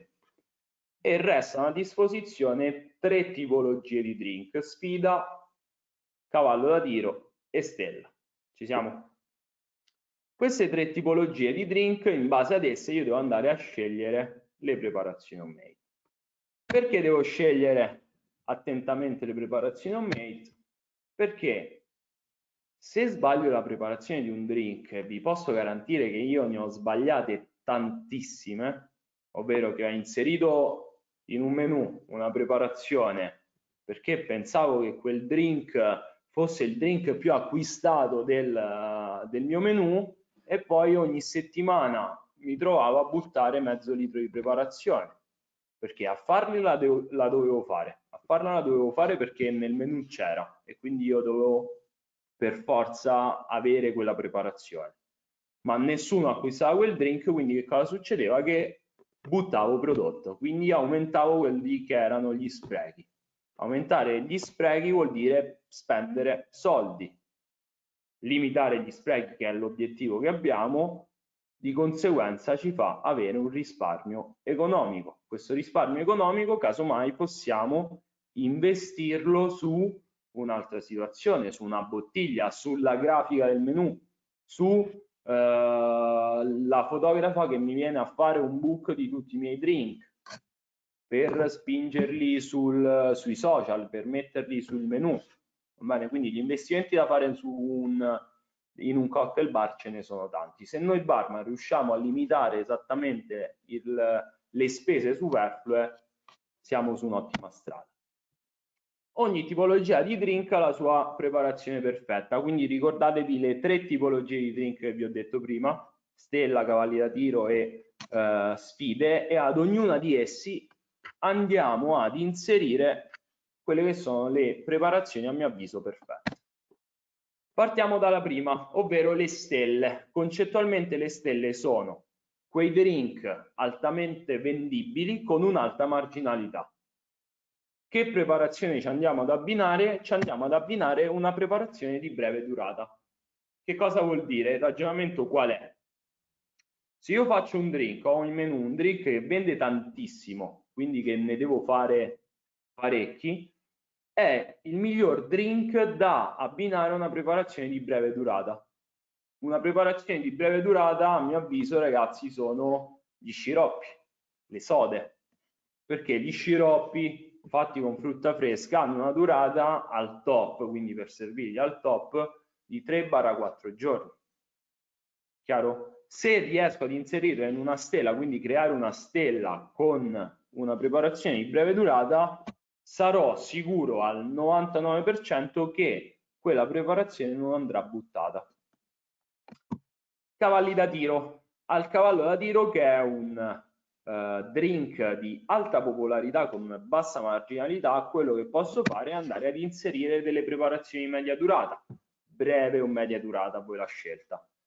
Che cosa intendo per preparazioni di media durata? Intendo quelle preparazioni come sciroppi da spezie, shrub, cordial con piccola aggiunta di alcol, quindi quelle preparazioni che hanno una durata dai 7 agli 8 giorni che mi permettono di essere smaltiti senza buttare assolutamente nulla. Infine le sfide, che sono quelle che eh, a noi bartender piace tanto fare perché delle volte mi ci metto anch'io che vado un po' controcorrente e dico a me piace questo ingrediente, voglio mettere questo drink sul eh, menu e mi fossilizzo su una cosa. Uno, due sfide dentro un menu ci possono essere. Va bene? ovvero quel drink che voi sperate che vada tantissimo, quel drink che serve per accontentare una piccola nicchia della vostra clientela. Quello serve. Se nel vostro locale, per farvi un esempio, eh, ogni mercoledì vengono 20 persone che amano il martini. Quelle 20 persone che vengono tutti i mercoledì nel vostro locale devono essere accontentate. Bene. Anche se sono solo loro a bere un martini cocktail. Quindi la mia sfida quale può essere quella di creare un martini cocktail perfetto per le persone che vengono il mercoledì e provarlo a spingere per tutti gli altri clienti.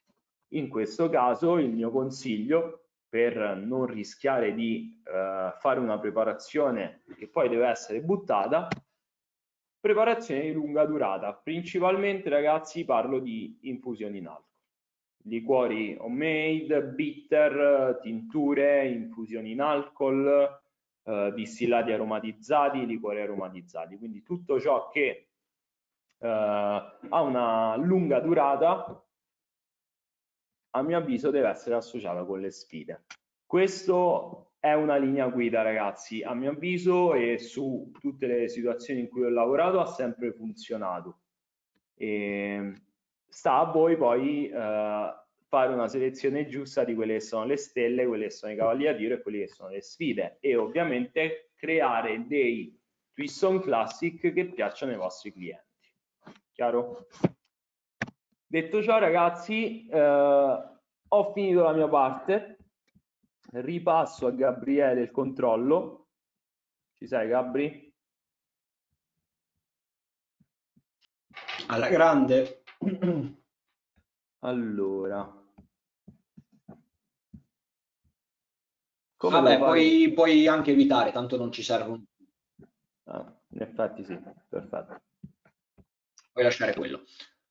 Allora ragazzi, ultima cosa e eh, diamo adesso spazio alla eh, sessione domande e risposte. Quindi se avete delle domande, dei dubbi, a molte controllate perché ho già risposto, ho scritto eh, la risposta a fianco. Ci tengo a precisare una cosa perché fatto una, eh, avete fatto alcune domande molto interessanti. All'interno del menu i cocktail ad alta marginalità, vi ho detto, eh, Angelo vi ha mostrato come creare ottimi Twiston Classic, dovete fondere queste cose insieme al Dream Cost e analizzare e vedere i cocktail ad alta marginalità, non li dovete eh, evidenziare, evidenziare come vi, ho detto, non facendo la lista della spesa, in quel modo non si evidenziano. Come posso evidenziarli? Sistemandoli all'interno del menu e poi parleremo e vedremo come farlo, sistemarli all'interno del menu ed evidenziarli, si possono usare tante tecniche come riquadro, quindi mettere un riquadro, evidenziare delle offerte, dei pacchetti riservati, dei cocktail particolari, posso sottolinearlo quel drink, posso metterlo in grassetto, posso metterci a fianco un'immagine, posso utilizzare le foto, ok? su alcuni drink per dargli più valore all'interno del menu e quindi per spingerli di più. E Pietro chiede, chiede, ti chiede a te Angelo, rispondi tu, ti chiede come bilanci un cocktail, quindi se è solo questione di gusto o ti basi su delle regole precise. Allora, eh, di regole precise non ce ne sono ragazzi, eh, cioè è impossibile avere una linea guida che ci dice fai esattamente così, fai esattamente così ma eh, tutto sta nell'analizzare quello che io sto utilizzando. Oggi, per esempio, sulla community eh, mi sta, eh, stavo parlando con un ragazzo che aveva fatto una domanda e c'era un drink con una preparazione molto interessante, ma da un gusto delicato, abbinato ad altri tre ingredienti con dei gusti estremamente invasivi. E la domanda è stata perché non riesco ad esaltare il, eh, il cordial alle noci che è delicatissimo, la, cioè, la, il ragionamento è perché se c'è una cosa che va a coprire devo stare attento. Quindi in primis sta nella selezione degli ingredienti. Due, nell'analizzare quello che voi volete sentire, quindi la volete far sentire. Se io faccio uno sciroppo all'ananas, fantastico, e voglio far sentire quello, che cosa devo fare? Devo cercare di trovare un drink che mi permetta di far esaltare il, lo sciroppo all'ananas. Tutto questo basandomi su un classico. Ovviamente voglio fare un twist sul daiquiri, per farvi un esempio banale, la struttura del daiquiri è distillato, rum, lime, zucchero bianco. Bene, voglio farlo con uno sciroppo di ananas, che cosa devo fare? Devo aumentare un po' la parte citrica, perché al posto di mettere lo zucchero semolato metto uno sciroppo, quindi aumento un po' la parte citrica, mi permette di aumentare un po' la parte dello sciroppo e quindi riuscire a bilanciare tutto. Per fare questo ragazzi si parte da un drink classico, ma bisogna fare delle prove. Ad occhio purtroppo non ci si può andare ho quest'idea, la provo, fa schifo, sbilanciata, la riprovo. Che cosa è che non va? Modifico, tolgo, rimetto. Quindi, cioè, sono tutte piccole prove, tutti piccoli esperimenti che dovete fare per forza. Se parti da un drink classico, già hai una linea guida. Questo sì. Gabri, io le, le domande non le leggo, quindi le devi dire tu, io non, non okay. le riesco a dire. Allora, ehm, Valerio chiede quanti drink consigli di mettere in un menu di soli signature, come consigli di informare la clientela che fa i soliti classici. Allora, non so se ho capito bene la domanda, ma non è assolutamente un problema fare i classici, ragazzi, non è che per forza bisogna fare dei signature drink, dei twist on classic. Queste tecniche si possono applicare benissimo e tranquillamente sui grandi classici posso, eh, eh, eh, sui grandi classici posso andare a esaltare, quindi evidenziare all'interno del menu delle offerte, quindi semmai il, eh, non, non metto spritz punto, ma semmai può diventare un pacchetto, semmai può diventare un'offerta particolare e, e semmai vado comunque a rendere più efficienti quei classici come abbiamo visto, semmai evitando lo spreco, migliorando il drink cost, eccetera, eccetera, eccetera. Quindi non è un problema mettere i classici, va benissimo. E... Dario chiede, causa Covid molti locali hanno dovuto digitalizzare il loro menu attraverso il QR code. Quali sono i pro e i contro? Allora, il ehm, digitalizzare il menu va benissimo, ok? Queste tecniche si possono applicare tranquillamente anche sul menu digitalizzato, ok? Il menu digitalizzato anche lì va fatto correttamente, ok? Digitalizzare un menu bisogna farlo, eh, bisogna eh, investire un po' di budget e farlo fare a qualcuno che, che sappia digitalizzare il menu e trasformarlo in versione digitale in maniera efficiente. Così come per il grafico, voi una volta che avete i cocktail, sapete quali cocktail dovete ehm, posizionare in un certo modo perché li volete evidenziare perché hanno una marginalità più alta. Sapete il tema del menu, avete un'idea di base, ok, un'idea non di base, un'idea bella, precisa di quello che volete fare, la passate a chi deve renderla poi reale. Quindi quando noi ci ehm, quando noi ci confrontiamo col nostro grafico andiamo lì e gli diciamo il menu va fatto così, così, così, così, così. Poi ovviamente noi non lo sappiamo fare a livello grafico, ci pensa lui, però gli abbiamo dato già tutte le indicazioni. Eh, quindi io comunque, mia personale opinione, preferisco di gran lunga il menu cartaceo, è molto meglio, si tiene in mano, ce l'hai come qualsiasi altra cosa. Eh, quindi ovviamente ci sono dei pro e contro, sì, eh, però attualmente causa questa situazione bisogna fare così oppure eh, avere un menu plastificato eccetera eccetera eccetera quindi va, va bene ehm... Rachele in un menu c'è un numero massimo di cocktail da inserire? No non c'è un numero massimo di cocktail da inserire ma bisogna essere sempre bisogna non esagerare, non bisogna fare un'infinità di drink, non, ragazzi, quante, quanti, come il prima il discorso che facevamo sui menu in, in, interminabili, cioè non c'è il numero perfetto, ok? E, ehm, quindi quello che è il numero esatto di cocktail che va sul menu, no, bisogna essere semplici, bisogna semplificare. Noi tendenzialmente lavoriamo sui 14-16 cocktail massimi, ma ragazzi non prendetela come linea guida fissa, appunto, dipende dal locale, dipende da tanti aspetti. Ovviamente, soprattutto Gabri, se, vedete nel menu eh, va bene se ci metto 40 cocktail, no, ok? Metterci 30 drink tutti uguali, no, non va bene. Quindi eh, bisogna semplificare un po' di più. Suddividerli anche in categorie, cioè nel senso se io voglio mettere... Suddividerli anche in categorie, assolutamente se dici drink in un menu devo suddividerli in categorie. Quello che a noi, per esempio, utilizziamo molto spesso come cosa è creare una lista aperitivi, quindi che ne so, una lista di benvenuto, mettiamola così, con 4, 5, 6 drink iniziali e altri uh, 10 drink sui Twiston Classic più importanti. Quindi già dividerle, eh, perché poi dopo diventa anche difficile leggere, visto che hanno, come diceva Gabri, 180 secondi per analizzare un menu realmente, mettercene 30, 40 diventa difficile, ma sia far scegliere al cliente e quindi direzionare la scelta, sia eh, gestire tutti gli ordini, preparazioni, sciroppi, ordina questo, ordina quell'altro, diventa un bagno di sangue.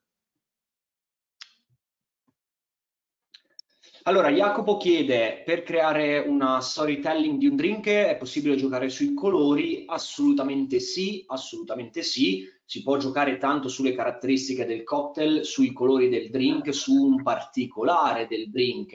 Noi, ad esempio, avevamo giocato tanto sulla storia di un cocktail, eh, adesso molto, detta molto velocemente, ricordava delle farfalle, c'era questa storia di farfalle, era un cocktail con un velluto sopra, colorato, quindi richiamava molto questa cosa, ovviamente ve l'ho detta molto velocemente, era ehm, contestualizzato in una storia, in un menu eh, a libro, quindi era, però sì, assolutamente sì.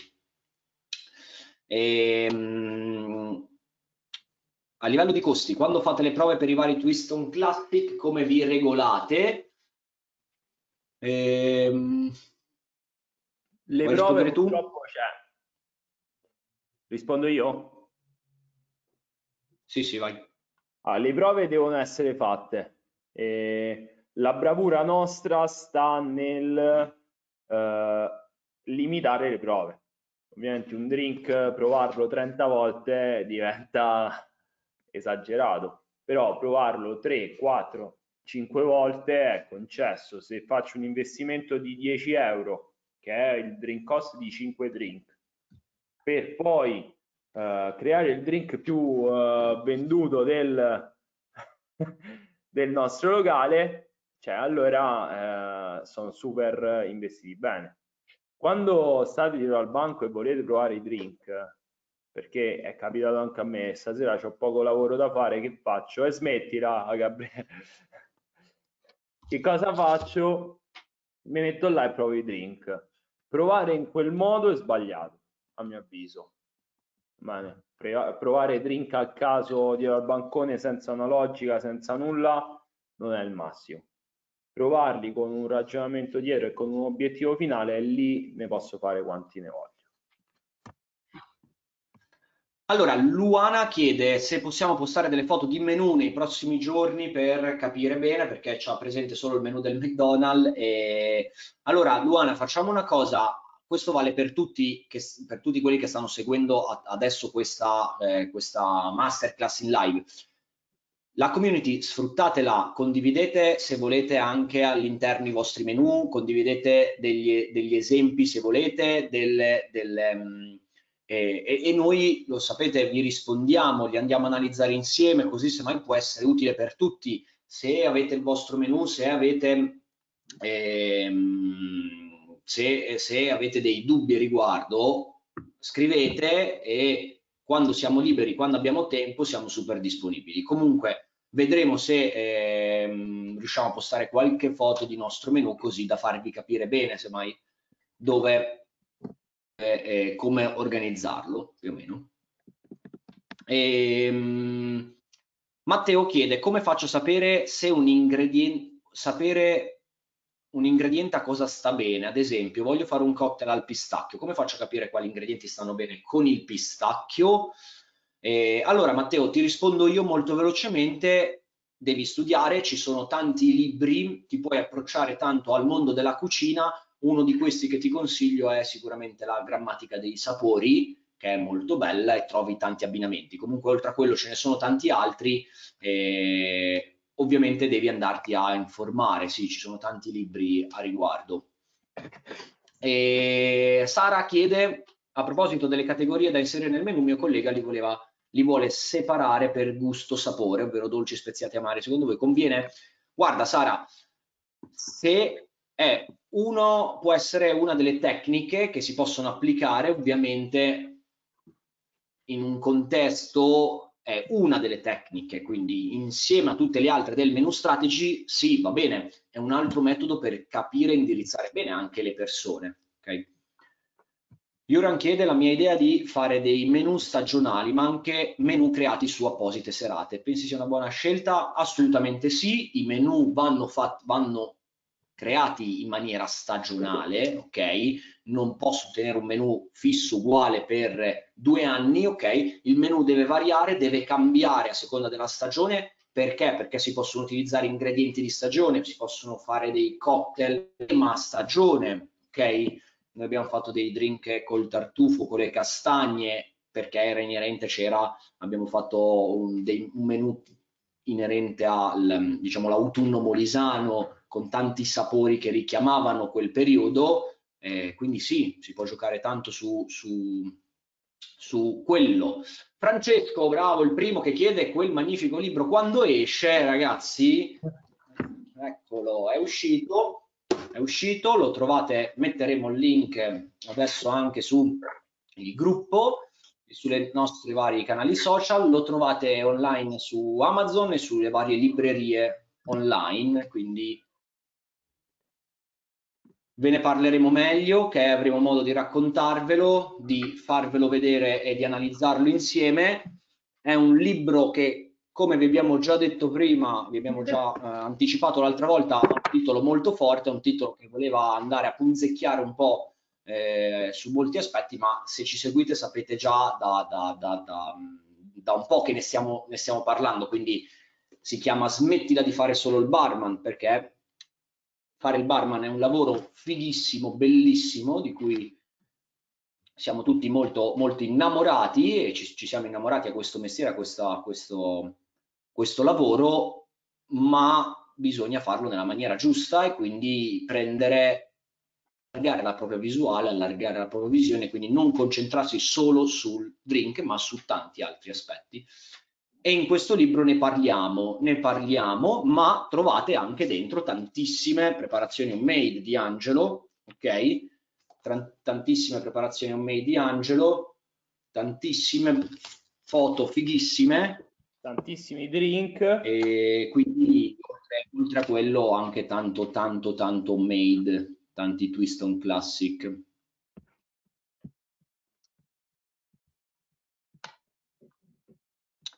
E, um, ogni quando variate il menu stagionale? Sei mesi. Vuoi rispondere tu, Angelo? Sì, eh, allora Sei personalmente mesi. sono sempre per eh, farlo in fare due, due menu annuali, ovvero uh, sei mesi uno, sei mesi un altro. Sei mesi, esempio, uh, primavera-estate, in modo tale che abbiamo un range di ingredienti che ci sono e anche i gusti su cui posso lavorare sono molto simili che bene o male la primavera è il primo caldo, l'estate è il caldo, quindi posso iniziare a lavorare su drink dissetanti e via dicendo, e parte autunno e inverno per uh, drink un po' più uh, pieni, un po' più corposi, dai gusti un po' più forti, con ingredienti uh, di stagione. Quindi minimo, a mio avviso, se voglio, voglio avere un menu che riesce a rispecchiare tutte le situazioni ogni uh, due anni, uh, sì, modificarlo due volte l'anno, quindi ogni sei mesi, primavera, estate, autunno, inverno. Se proprio siete dei, uh, dei mostri e avete il tempo per cambiare un menu, potete farlo proprio ogni stagione. L'unica cosa è che poi ogni stagione bisogna analizzare se il locale può investire su delle bottiglie nuove, se può investire su uh, delle preparazioni nuove, se puoi investire sul cambio dei bicchieri, se puoi investire sul grafico, se puoi investire sulla stampa di un altro menu. Bene, quindi il menu non lo dovete vedere solamente su creo 12 drink, creo 14 drink e a posto così. Il menu lo dovete vedere anche come un uh, investimento che fa il locale perché abbiamo visto che ci sta la fotografa che ci deve fare tutta la parte delle foto, il grafico che ci deve andare ad impostare in maniera corretta il tutto, eh, creare nuovi drink, cambiare bicchieri perché voglio fare proprio un menu strafigo, fare le prove, farvi il drink cost, eh, cambiare bottiglie, cioè raga, fare un menu è un bucio di culo. Bellissimo perché è veramente figo una volta poi che ci sono sul, su carta i vostri drink e i vostri clienti li apprezzano, ma è un bel lavoro da fare. Va bene? Allora, Francesco, mi ero perso, mi ero perso la domanda. Può essere funzionale anche un'immagine del cocktail al posto della semplice lista degli ingredienti? Sì, ne abbiamo parlato tanto, Francesco, quindi... Ehm è sicuramente molto funzionale quando si crea un menu inserire i cocktail non incolonnati in maniera un po' più sparsa e sfruttare anche tanto le immagini, ok? Sfruttare tanto le immagini. Però eh, Gabri, la e, ehm, non so se era quello il senso. Eh? La domanda era, posso sostituire gli ingredienti con un'immagine? un'immagine o una foto, cioè non riesce a, ah, eh, capito, no. a sostituire gli ingredienti. E in primis, tra virgolette, legalmente non potrebbe essere neanche fatto, cioè perché un cliente deve sapere per filo e per segno ciò che c'è dentro, allergeni, tutto, va bene? E poi fare una cosa a scatola chiusa è estremamente complesso ci sono molti cocktail bar che lavorano in questo modo, ti metto una descrizione, come ti senti, prendo questo qui, però prendo questo qui, poi mi arriva un drink e mi fa schifo, eh, che succede? Cioè è veramente un rischio. dovete avere dei, del personale di sala super competente che deve sapere per filo e per segno tutto ciò che c'è dentro. La vendita diventa anche più lenta perché devo stare lì a spiegare a tutte le persone che cosa c'è dentro per filo e per segno ed eventuali allergeni. Quindi scriverlo sarebbe l'ideale. Si può fare se poi sei consapevole di tutto il lavoro che ci sta da fare per venderlo.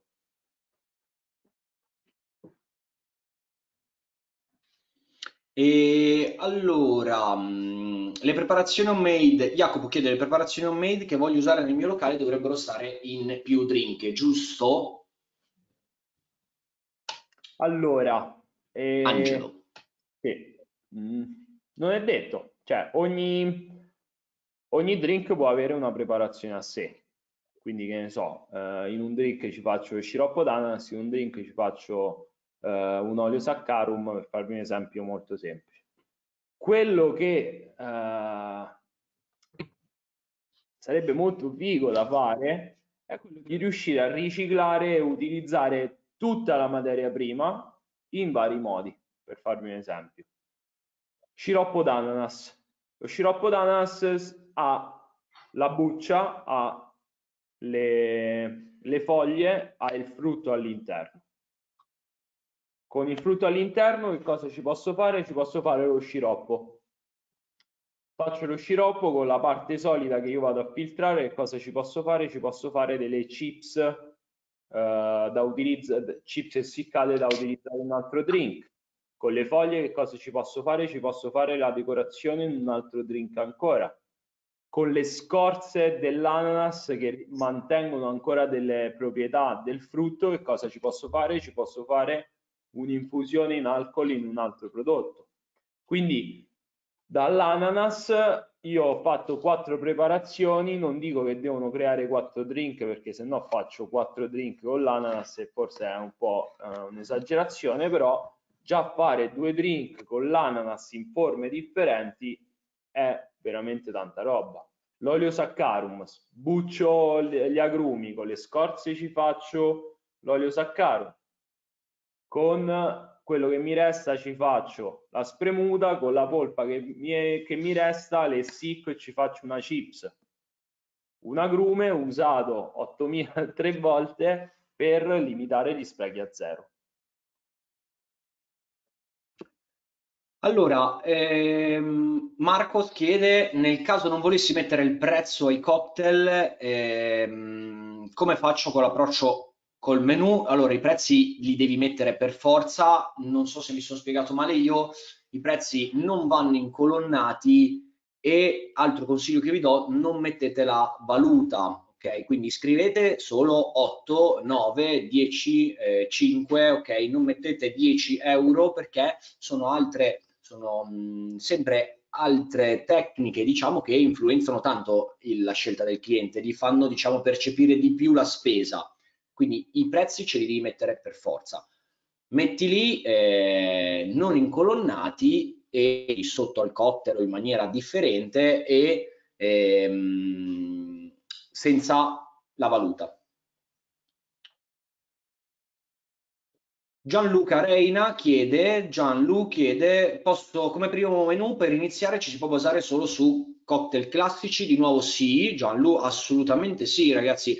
Fare un menu come ha detto Angelo, ci vuole veramente tanta pazienza e tanto lavoro, quindi più ne fate, più ne provate, più vi verrà meglio, vi verranno meglio, quindi inizia con un menu con soli classici, poi piano piano, ok, lo vai a, lo vai a ingegnerizzare e vai ad applicare queste tecniche. Ragazzi, non è un problema non è il problema dei cocktail, è il problema di tutto quello che c'è dietro, quindi di fare un menu scritto bene, di fare un menu graficamente fatto bene, con un tema originale, con eh, un formato fatto bene, affidandolo a un grafico. Poi se usi i classici va bene, va benissimo.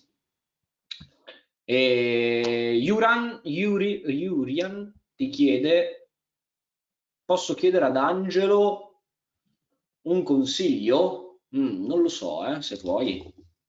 Può Angelo? Eh, sì. Sì, ha detto, non ha risposto. Sì, ok. come creare un bitter al wasabi? Eh, come creare un bitter al wasabi, eh, bisogna analizzare un po' tutto il discorso dei bitter, quindi capire che il bitter deve avere una parte amara e deve avere una parte aromatica. Quindi a mio avviso quello che potresti fare, proprio detta molto velocemente, creare delle tinture che ti diano una base amara, quindi che ne so, genziana, china, rabarbaro e via dicendo, facendo un blend eh, che ci sta bene, e la parte aromatica provare a fare un'infusione in alcol di wasabi. Bene, quindi che ne so, prendi la vodka, la lasci in macerazione col, col wasabi perché non dovrebbe essere solubile. No, potrebbe anche sciogliersi in vodka, quindi manco troppo complesso potrebbe essere. Vai a bilanciare e crei il tuo bit. Eh, se mai ne parliamo anche sulla community poi. Certo. L'argomento bitter è veramente finito è lavorare su un 30% di base amara, 70% base aromatica. Di solito questo è quello il rapporto che utilizzo io, però eh, completamente personalizzabile. Altre domande, Gabri? Allora, eh, Ale, ultima, chiede, ehm, mettiamo il caso volessi provare a farlo da me senza l'ausilio di un grafico, con cosa lo fareste voi?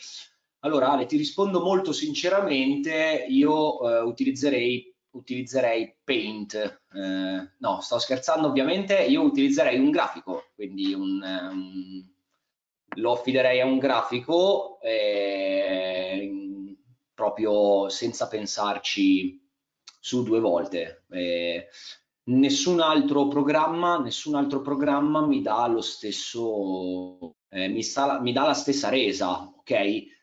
Poi, di nuovo, apro parentesi, dipende quanto ve la cavate a livello eh, computer con i programmi, utilizzando i vari programmi di grafica. Se siete bravi, se ve la cavate, siete dei fenomeni, vi potete anche cimentare voi. Ragazzi, però fatevi un po' di autoanalisi, vedete, ok, quanto vi sentite eh, propensi a fare questa cosa, altrimenti affidatela a un grafico. Ragazzi, i grafici ce ne sono tanti, prima di lanciarvi a farlo voi con Word, Paint o qualsiasi altro ehm, programma, fate un giro di preventivi, chiedete, ok, informatevi, vedete quanti, qual è il prezzo medio e vi fate un'idea.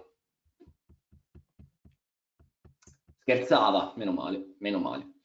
Allora ragazzi, detto questo, ehm, anche questo webinar è terminato, ok? Quindi due cose assolutamente. La prima, eh, smettetela di fare solo i barman. E mh, la seconda è, grazie di aver partecipato anche a questo webinar, mi raccomando seguite, eh, seguite anche quello sul drink cost perché su, vanno, eh, vanno di pari passo, quindi è importante comprenderli entrambi. E ci sentiamo nei prossimi giorni con altri webinar e ci sentiamo sulla community. Per qualsiasi dubbio scrivete in community, cercate di scrivere lì perché ci scrivete già in tantissimi privatamente eh, perché molte domande, molte domande, molti dubbi che avete sono molto interessanti, sono ottime domande e sono veramente tanto utili anche per eh, molte altre persone. Quindi se le fate lì è sempre meglio, però sapete che vi rispondiamo anche privatamente. Va bene ragazzi, detto questo vi salutiamo, grazie Ciao, e ci vediamo al prossimo episodio, al prossimo webinar.